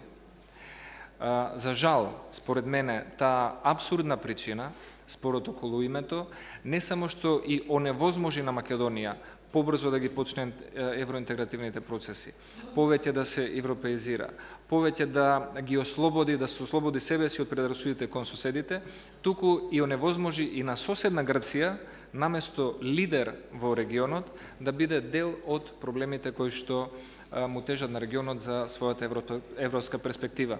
И она што го спомна колегата Бечев, ние денес гледаме еден парадокс. Земја која што е исто кандидат, но не е членка на Европската Унија, како што е Република Турција, ако ја гледате нивната дипломатска, политичка и економска активност, не само во изминатива година, туку во изминативе 10 години, има поголема динамика на односи со Македонија, со Бугарија, со Србија, со Косово, со Босна и Херцеговина, со Хрватска, со Албанија и со Црнагора, отколку што го има тоа земјата членка на Европската Унија како Грција, која би требало да го има тоа како стекната предност. Но за жал тоа беше досега ситуацијата, може би ќе се смени после декември. Тоа за соседите, сега по однос на оние теми кои што да првото прашање, мислам дека голем е напредокот и за Македонија, а особено во споредба со а, другите земји кои што се уште работат на оваа проблематика, што а, предлог законот за декриминализација на а, клеветата а, стигна со еден широк политички консензус и волја на а, владачката коалиција до Македонското собрание и сметам дека тоа ќе биде еден чекор напред. Не викам дека тоа ќе биде доволниот чекор за да а, се решат проблемите на македонскиот медиумски простор, но сепак е забележителен чекор напред. Имаше исто и а, одредени а, приметби околу законот во кој што кој што се однесуваше на член 16, каде што имаше недоволна јасност по однос на тоа што е а, интернет провайдер, што е интернет портал и кој ја има уредувачката одговорност за информирањето на публиката, но мислам и дека тука ќе се направат дополнителни подобрувања на текстот, се со цел и тоа да не биде во иднина злоупотребено како изговор за било за работата на било кој медиум. Значи Македонија прави напредоци во тој поглед. Единствената работа е што во оваа мала држава ставовите се менуваат, ставовите на политичарите се менуваат по едно исто прашање, зависно од тоа дали сте на власт или сте во опозиција. Ако а, денес а, на власт беше опозицијата, може би прашањето по однос на декриминализацијата на клеветата ќе беше за нив важен реформски исчекор, а во обратниот случај може да се наоѓаат дополнителни аргументи зашто тоа не е доволно. Или и за прашањата со соседите и за било кои други прашања. Така и за прашањето на изборниот законник. Според мене, Македонија веќе ја има докажано својата демократска зрелост и институционален капацитет да спроведува фер, отворени и демократски избори и тоа го имаме докажано и 98 година, и 2002 година, и 2006, и 2008, и 2009 на председателски и локални. И законските текстови секогаш треба да се подобруваат и ние сите се повикуваме на извештаите на ОПСЕ, вклучително и колешката Шетеринска и јас лично, кои што сме биле и шефови на делегации на ОПСЕ во други држави, но толкувањето ни е различно. Јас ја толкувам препораката на ОПСЕ на начин која што одговара за мојот аманман, кој што го предлагам за подобрување на изборниот законник, колешката Шетеринска го толкува на начин кој што таа смета дека треба а, да биде срочен за да тоа значи подобрување на изборниот законник. И тоа ќе остане така.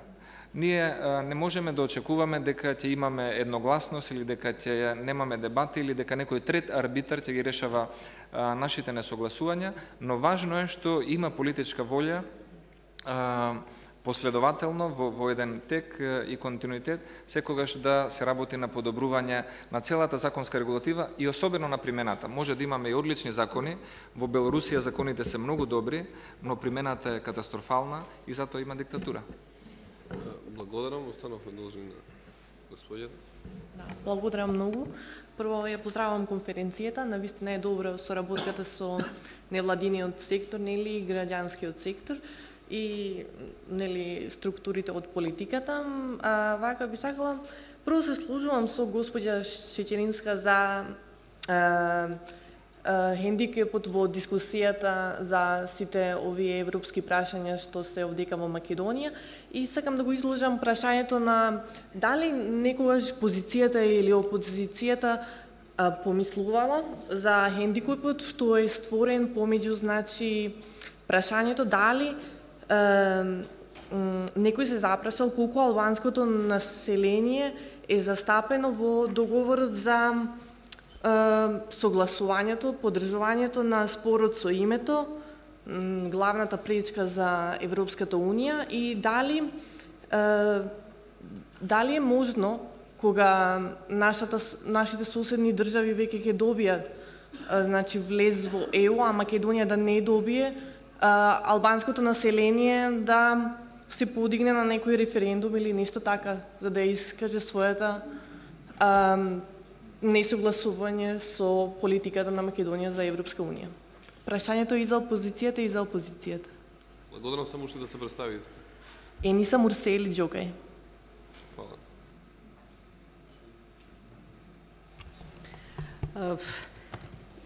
Јас зборував за процесот околу не околу преговорите со Грција заради тоа што тоа е и покрупен корпус на прашања, меѓутоа еве конкретно за за најновиот развој на настаните околу меморандумот за разбирање предложен од Грција, а, зборував дека владата, извршната власт, Министерството за надворешни работи не дискутираат дури ни со собранието на Република Македонија кој што ги избира.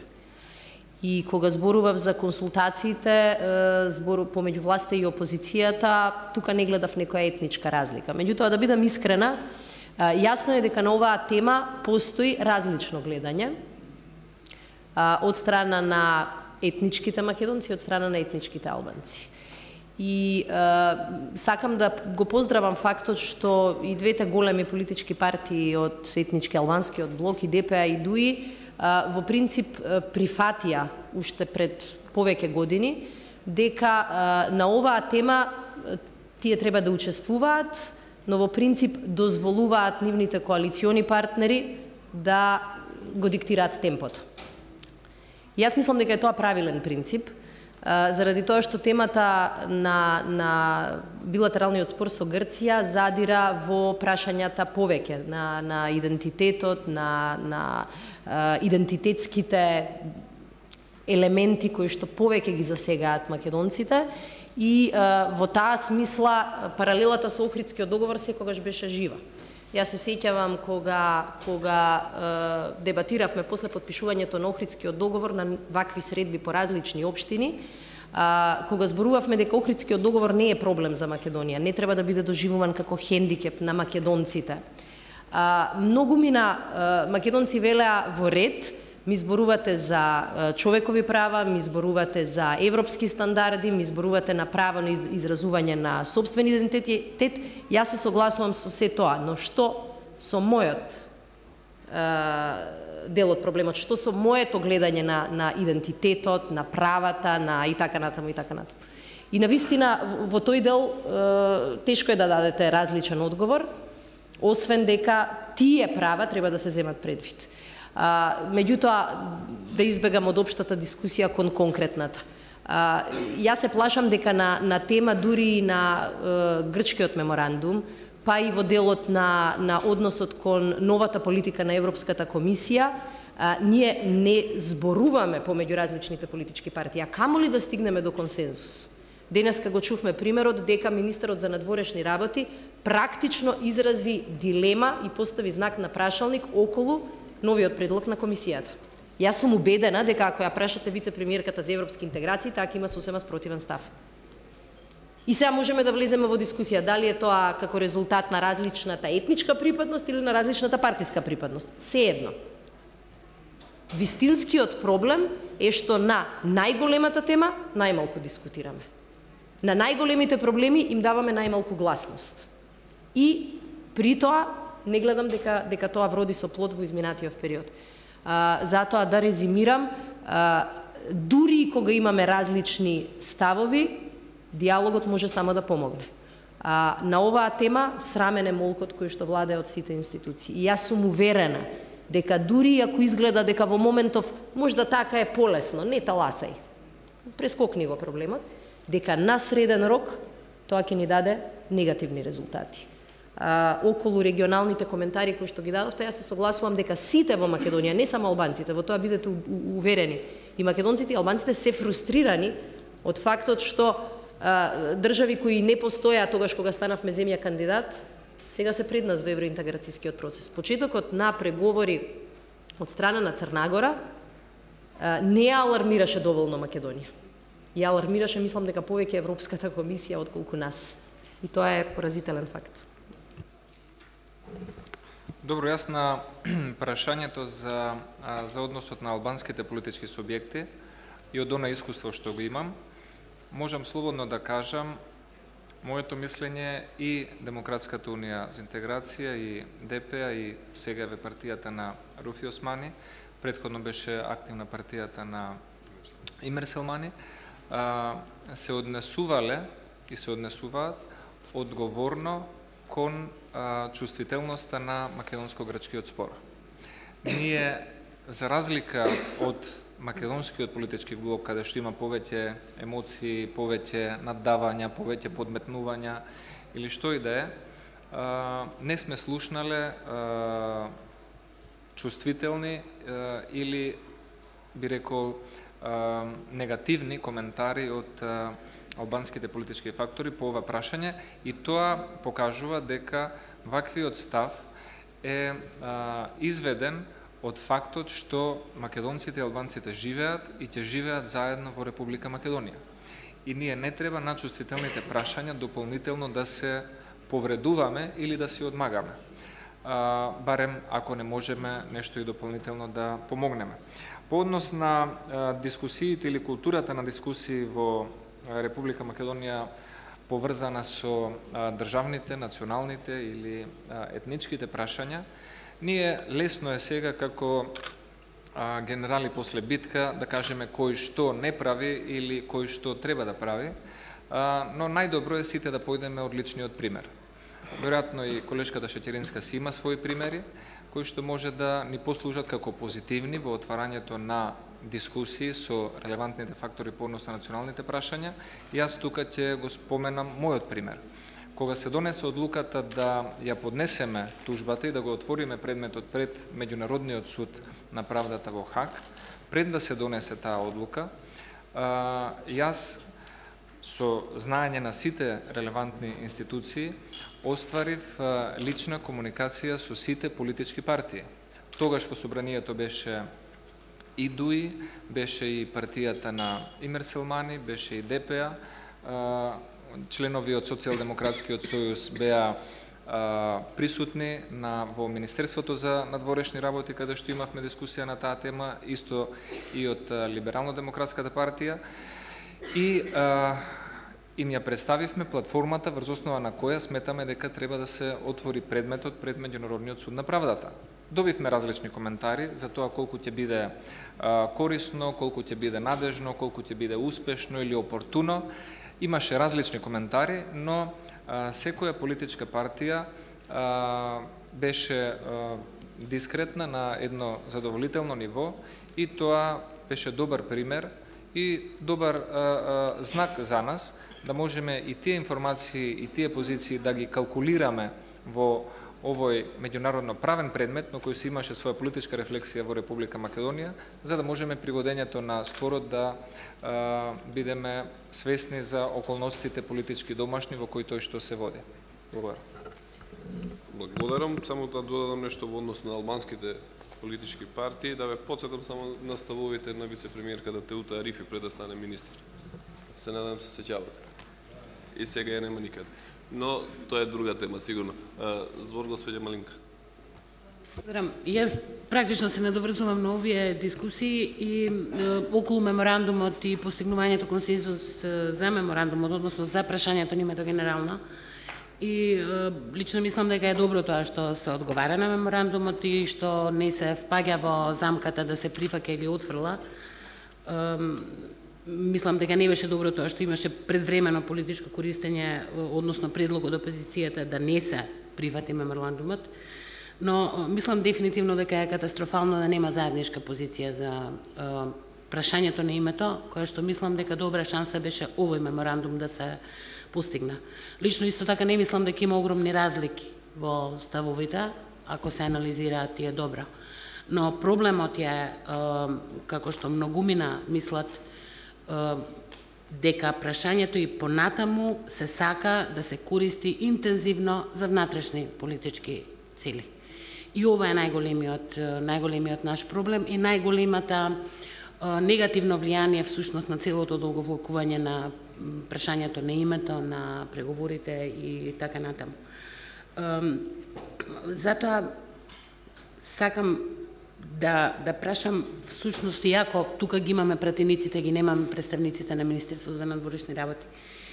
Дали воопшто мислат дека бидејќи ова често прашање го поставуваат и нам кога сме надвор дека има некаква шанса ова прашање да се изолира и едноставно да се тргне од изборите во Република Македонија. Значи да не се користи колку и да се за тоа политичките партии секогаш во искушение и секаде, не само во Македонија, да не се користи во политички, односно за намена на изборите, еве следни, например. Благодарам. Шањето е до? Сакала господинот Милошевски овде толку да го нападнаме, иако знам дека нема да се уплаши за да не иде друг пат.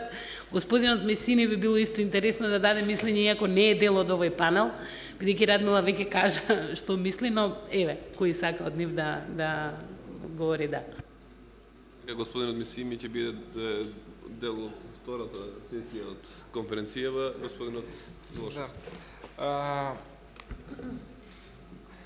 Секој отворено прашање кое што ја засега, го засега најголемиот дел од популацијата во Република Македонија, а има своја политичка димензија, тешко дека можеме да замислиме да не биде дел од политичкото соперништво помеѓу партиите во нашата држава. Тоа е не моја желба, туку една реална оценка за улогата на македонско-грчкиот спор во внатрешните политички односи во Република Македонија постоела и дискусија, постоеле и дебати, постоеле и многу заеднички прилики за размена на мислења помеѓу да кажеме клучните чинители и во ВМРО ДПМН и во СДСМ по однос на ова прашање, но тие дебати може би не биле толку јавни и немало потреба да бидат толку јавни. Но јас сум сведок на, на, на некој од нив и Знам дека исто постоел предлог кој што пред да биде обзнанет јавно, дека би требало да ова прашање на крајот да се донесе одлука да оди на референдум и да има таква референдумска разрешница при одлучувањето за македонско-грчкиот спор. Но во тие дискусии кои што не биле јавни, таквата позиција не била прифатена. Откако таа позиција стана јавна и стана дел од изборните програми на ВМРО ДПМН после два последователни изборни а, резултати и успеси а, во кои што и тоа прашање меѓу другите играше одредена улога, сега таа позиција е споделена од страна на Социјалдемократскиот сојуз. Значи, едноставно, според мене, недостатокот од доверба, која што некогаш е и недостатокот доверба помеѓу личности, игра многу голема улога во немањето можност да се создадат услови за или за создавање на една цврста, заедничка позиција по однос на македонско-грчкиот спор, или пак за да се стави настрана од политичките кампањи одредено ова прашање како дел од од реториката на македонските политичари. И тоа го имаме сега по однос на последниот пример за кој што денес разговаравме, предлог меморандумот за разбирање од страна на Грција. Ставот на неголемата опозициона партија, искажен преку генералниот секретар, беше дека тој меморандум треба да се отфрли ставот на владеачката коалиција беше дека во интерес на Република Македонија е тој меморандум да има реплика и да ја добие таа реплика се со цел да не се исполнат очекувањата можеби на некои кругови во Атина дека отфрлениот предлог меморандум би бил нивно добро дипломатско орудие. Како и да е, гледаме дека и по однос на денешни актуелни прашања имаме различни ставови и веројатно тоа ќе биде состојба во, во нашата политика уште некој известно време пред нас. Благодарам да ве подсетам дека ни остануваат само уште десетина минути, има уште 20 излагачи. Господи Ременски, па ќе завршиме. Повелете, господи Шкринца. А, извинат. дјаволот е во деталите. А, убаво звучи тезата дека би било добро околу некои работи да, да не водиме кампањи. А, меѓутоа, на сите теми кои беа чувствителни, една е името, втора се меѓуетничките односи, тоа беше практично невозможно. Во 2001 година влада на гол, широка коалиција застана зад Охридскиот договор, па сепак тие теми и понатаму ги оптоваруваа нашите кампањи, беа дел од нашите партиски, партиски разлики. А, јас сметам дека по прашањето на името долго време постоеше ферплей. Темата беше дебатирана на, на изборите, меѓутоа некои граници сепак се почитуваа. А, според мене во 2008 година таа позиција беше напуштена и од неа тешко дека ќе се вратиме. Значи, во 2008 година премиерот на оваа држава ги обвини сите кои зборуваа дека треба да бараме решение, дека се предавници. Тоа што после тоа како министер за надворешни работи господинот Милошевски испрати писмо со друга содржина до Обединетите нации. Тоа што во настапите со представници на меѓународната заедница можеби премиерот вели сакам да најдам решение, тоа е едно прашање. Меѓутоа, во македонската јавност, позициите се цементираа заради крстоносната војна, која ВМРО ДПМН ја поведе. И таа крстоносна војна велеше, секој оној кој зборува дека треба да се работи на решение, веќе ги предал интересите на државата. И затоа, дозволете дека на оваа тема ќе ни биде тешко да имаме консензус, ќе ни биде тешко да има некој тип на ферплей. Меѓутоа, и ден денеска не прифаќам дека како резултат на сето тоа треба да има молк. Молкот е најлошо решение и молкот е нај, најслабо сценарио. Благодарам. Андреа Стојковски, Македонски центар за европско образование. За да не испадне дека сме го заборавиле господинот Бечев, во целата дискусија, иако е очигледно дека многу повеќе ни треба дискусијата да ја водиме внатре во општеството во што со надворешни представници, сепак ако ја туркаме тезата дека на Турција дека може да си надвор од Европската унија и да бидеш успешен, да бидеш просперитетен, тоа во наши услови, во македонски услови е погубна политика. На нас Европската Унија или пристапувањето во членство во Унијата ни е потребно како лебец. И тоа не е заради тоа што е цел сама по себе, туку заради подобрувањето на квалитетот на животот овде во Македонија квалитетот на животот на граѓаните. Ако го земам оно што господинот Попетрески го спомена а тоа е дека ќе не мерат во успехот во подобрувањето на соседските односи со Бугарија и Грција за да ни обез... за да одлучат конечно за датумот за почеток на преговори. Ако го земам за точно оно што го кажа е, господинот Милошевски дека постои апетит за проширување, меѓутоа има повеќе апетит, нема апетит за проширување, повеќе апетит за преговори, иако мене тоа ми е абсурдно која е поентата на тие преговори ако нема апетит за проширување. А како правник разбирам дека не можеме да бараме правно решение на политички спор. Од таму мислам дека е лошо ако одиме и лобираме со пресудата од Хаг и со времената спогодба ке државите членки, при тоа заборавајќи на тоа дека политичкото решение никогаш нема да го добиеме со правните инструменти.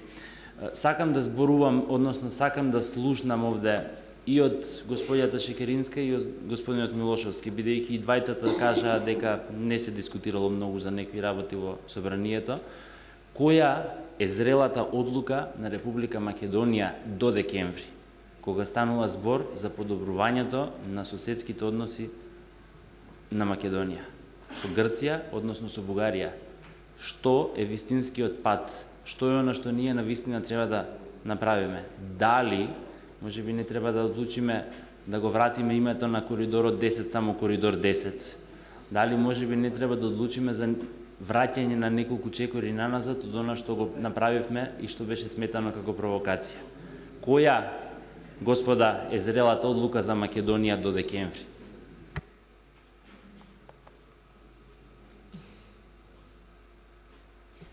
Јас се сложувам потполно со вас Но исто така е точно дека тој модел на Турција ќе биде се поголемо искушение доколку регионот ќе биде во изолација. Уверувам ви дека ќе се најдат и луѓе, а тоа го видовме кога дојде Ердоган тука во, во Македонија, дека ќе се прашуваат самите себе дали нема и некој друга варијанта. Иако мислам јас исто дека за Македонија нема друга алтернатива, тоа е очигледно. И споредбата со Турција не држи вода. Сега, ако можам да кажам јас нешто за Бугарија, Антонио спомна нешто многу важно, дека Македонија нема претензии кон своите соседи за територии. Тоа е така и тоа беше клучна поента во декларацијата февруари 99 година кога ВМРО ДПМН беше во власта. Но замислите сега, ако вие сте на местото на бугарскиот председател Росен Плевнелиев. Росен Плевнелиев потекнува од град Гоце Делчев. Кога тој ќе дојде еден ден во Скопје, се надевам дека е близо тој ден, ќе види Порта Македонија, дека неговиот град е таму горе во Пириска Македонија, на Порта Македонија. Сега, како тој може да го објасни тоа на бугарското општество, дека дел од Бугарија е таму горе, него, неговиот град. Меѓутоа, фамилијата на Плевнелиев е дојдена од село Плевна во Егејска Македонија. Тој нема никогаш спомнато за родното село дека има некои претензии, нешто повеќе. Во Солун сега го објавија самиот Плевнелиев за е, по, почетен граѓанин на градот. Значи има некој модел со работка да се остави историјата и да се оди напред. Без разлика на тоа што дедо и баба му се јасно дека биле протерани од, од село Плевна во Егиска Македонија. Има добар модел за соработка, тука е еден предлог да ви кажам, и видите какви се односите меѓу Бугарија и Израел.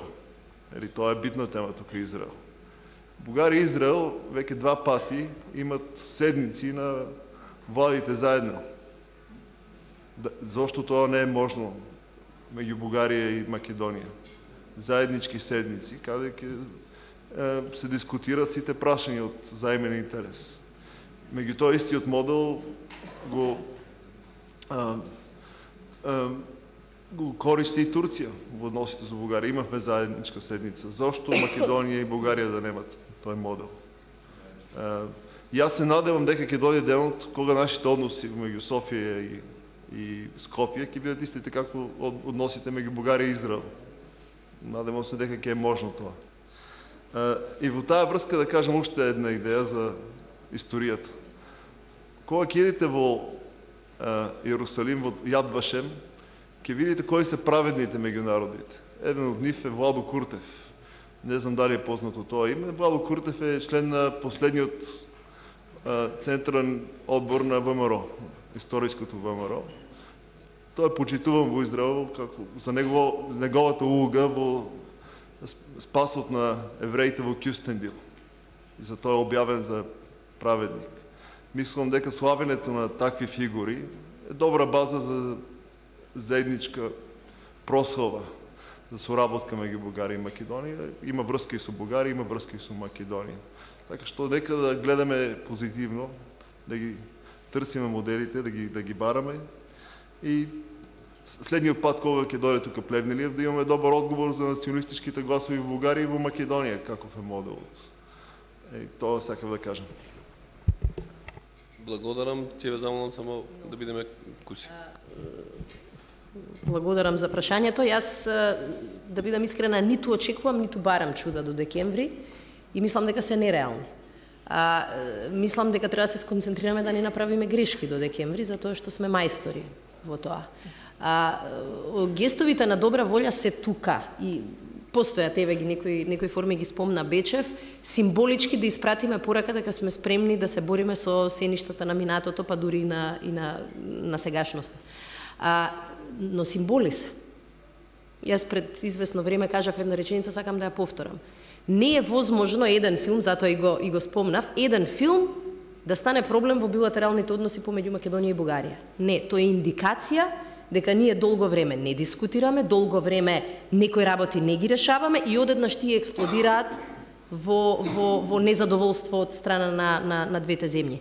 Така што јас би се сконцентрирала на битка на подолги стази да се испрати пораката од врвот, без дилеми, без запирки, без различни пораки од владата и различните министри, дека Македонија сваќа дека националистичките пораки и, и политики свртени кон минатото не се наша опција. Ама ако таа не ја испратиме порака во еден здив и ако не си оставиме резерви, или ако, ако си оставиме резерви практично, тогаш таа нема да, да помине. И тогаш ќе, ќе го добиеме одговорот, особено од Софија, чекаме дела, а не, а не писма.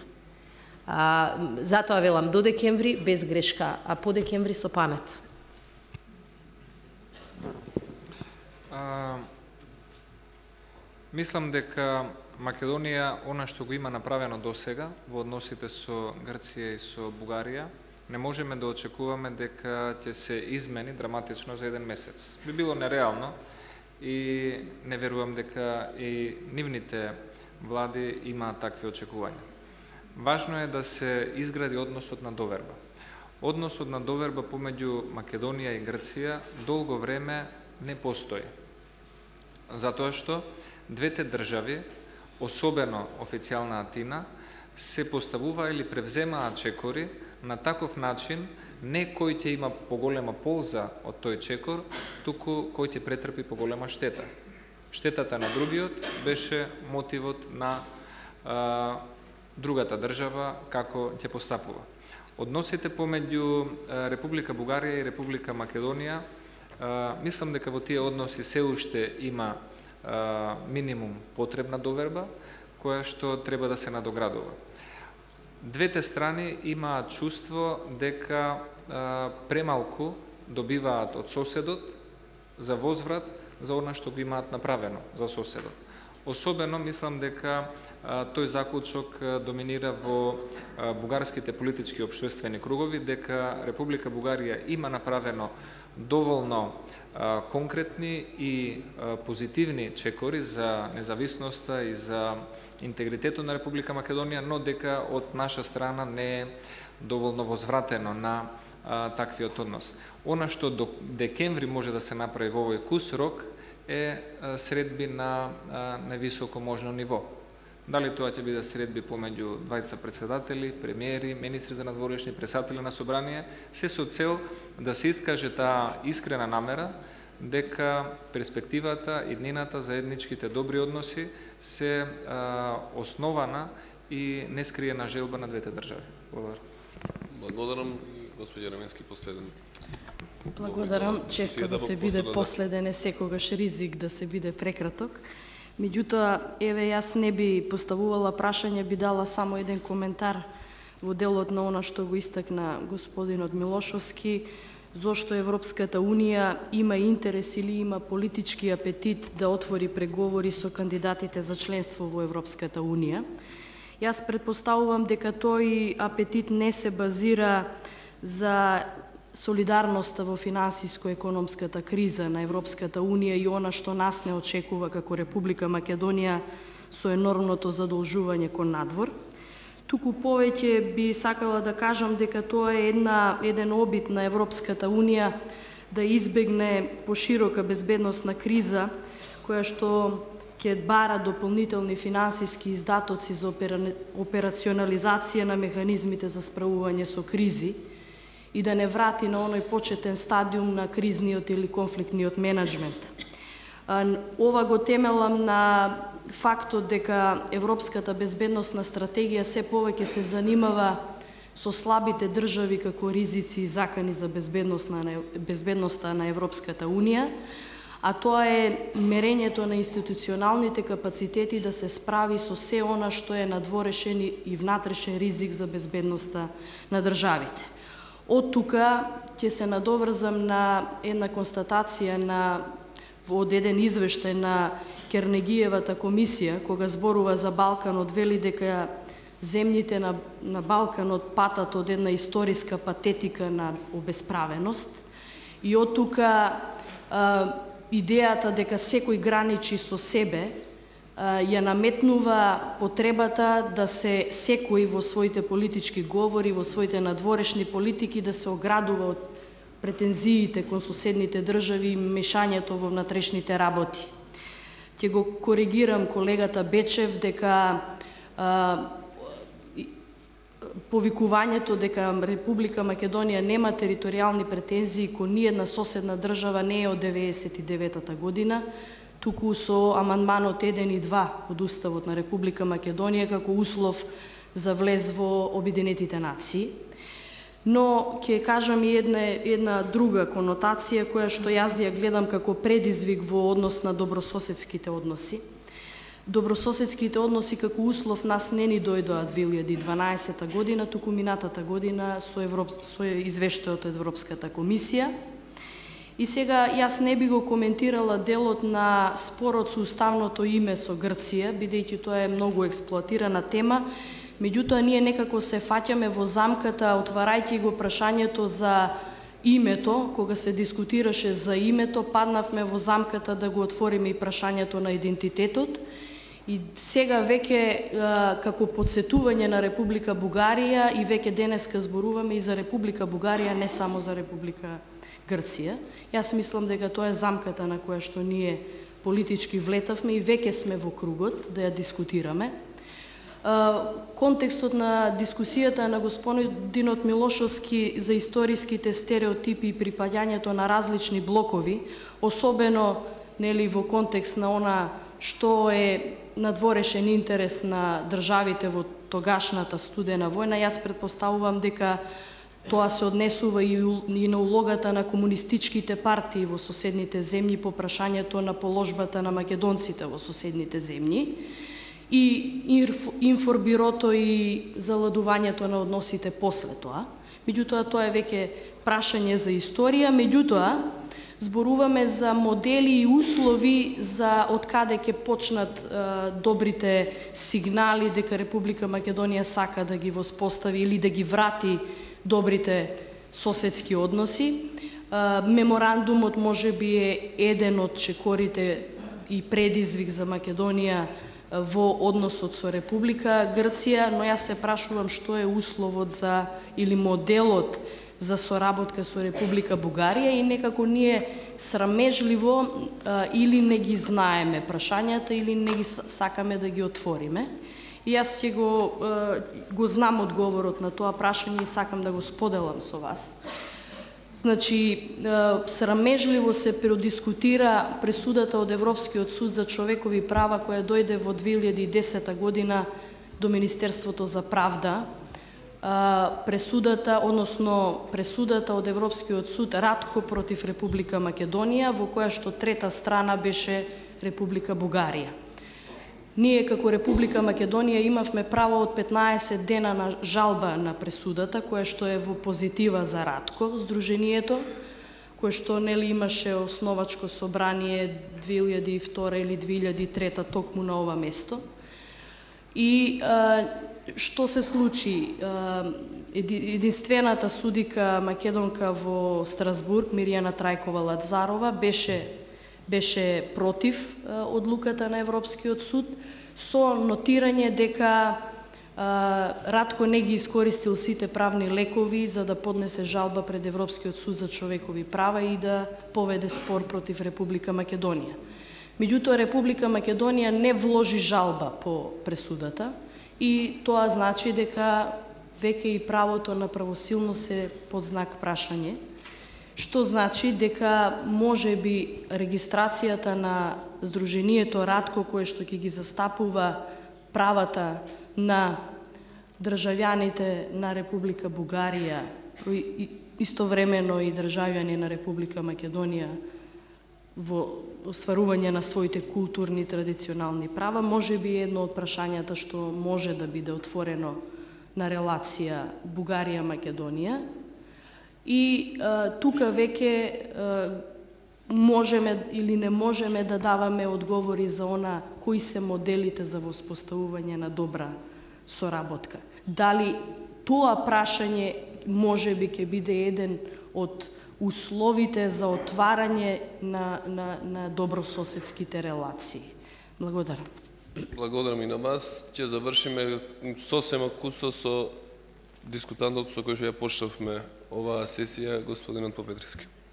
А, Ке коментирам неколку а, работи кои што беа кажани во текот на дебатата. Беше споменато отсутството на ентузијазам, интерес кај земјите членки и тоа е најдоброто алиби секогаш кај земјите аспирантки кои што а, бавно а, одат а, во а, процесот кон членство во Европската Унија. А, секако дека ентузијазмот од 2004 година го нема, но од 2004 до сега, прво од 2005 година, година во која што во Франција и во Холандија беше одбиен уставот на Европската унија, Република Македонија го доби кандидатскиот статус. Две години подоцна Бугарија и Романија станаа членки на Европската унија.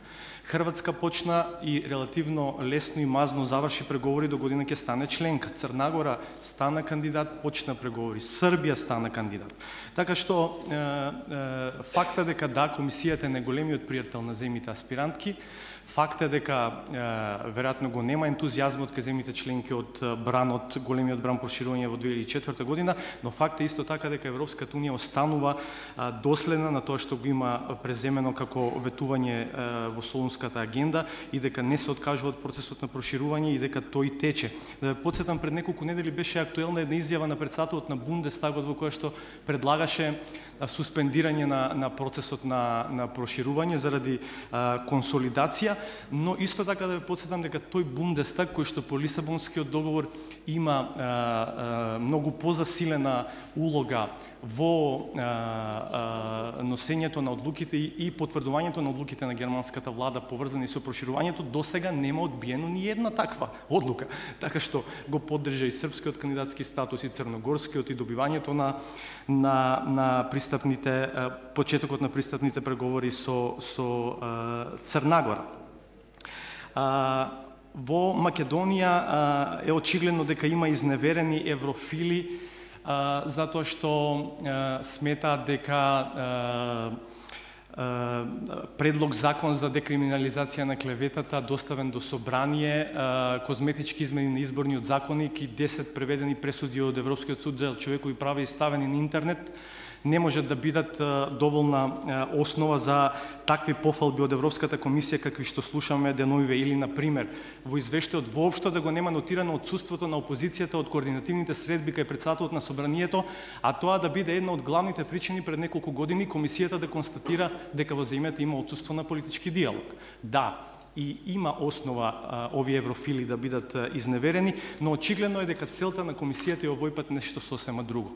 Целта е повисока. Второто име на овој план за кој што зборуваме и дебатираме на оваа а, дебата денеска е дали имаме шанса имаме ли можност да ги насочиме двете страни, Грција и Македонија, повторно да седнат на преговарачката маса и конечно да го решат прашањето за името. А, рамката во Обединените нации не е продуктивна, а, обидите во НАТО контекст не дадоа резултати. 2009 препораката на комисијата беше дадена исто така со напомена дека а, и надеж дека таа ќе влијае кон решение на прашањето за името што не се случи и сега е ова нов обид на Европската комисија да ја релаксира на некој начин атмосферата и да се обиде уште еднаш да го решава прашањето за името. Но јас пак ќе се вратам на мојата дилема од почетокот на оваа дебата и уште еднаш само гласно ќе го поставам прашањето. Филе вели, почеток на пристапни преговори, решавање на прашањето за името во рана фаза. Нашиот министер Поповски вели, не смееме тоа да го дозволиме. А, нашиот премиер Никола Груевски даде интервју првиот ден по добивањето на четвртата препорака за почеток на преговори за членство, беше прашан дали конечно го добиваме тоа што го бараме. Решавање на а, а, прашањето за името по словенечко-хрватскиот модел. И премиерот, еве ќе се обидам да го парафразирам, одговори од прилика вака.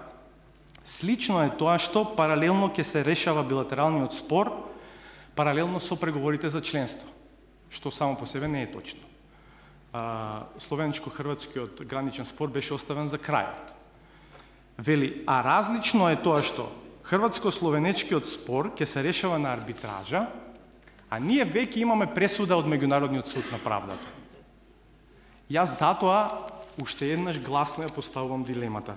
Дали македонската влада го прифаќа пристапот промовиран од Европската комисија и дали се согласува со тоа да отпочнеме пристапни преговори и во нивната рана фаза да го решаваме прашањето за името. Ако ова се изјави насочени кон внатрешната јавност, заради транзиција од една позиција на непопустливост кон една а, ситуација во која што владата ќе влезе во суштински разговори да го решава прашањето за името, а, а, добро. Но ви велам дека кај нашите меѓународни пријатели деновиве има дилеми дали е ова така. Благодарам. Благодарам Васко, благодарам на сите учесници во оваа сесија на конференцијава денешна. Завршивме со дилема што не е, не е добро, но барем оставаме простор до декември да има повторно дебати од ваков тип и се надеваме дека оваа денешнава нема да биде прва и последна до Министерскиот совет на Европската Унија во декември. Ви благодарам на сите уште еднаш што учествувавте во дебатот. Правиме пауза 15 минути и се враќаме по тоа на втората сесија.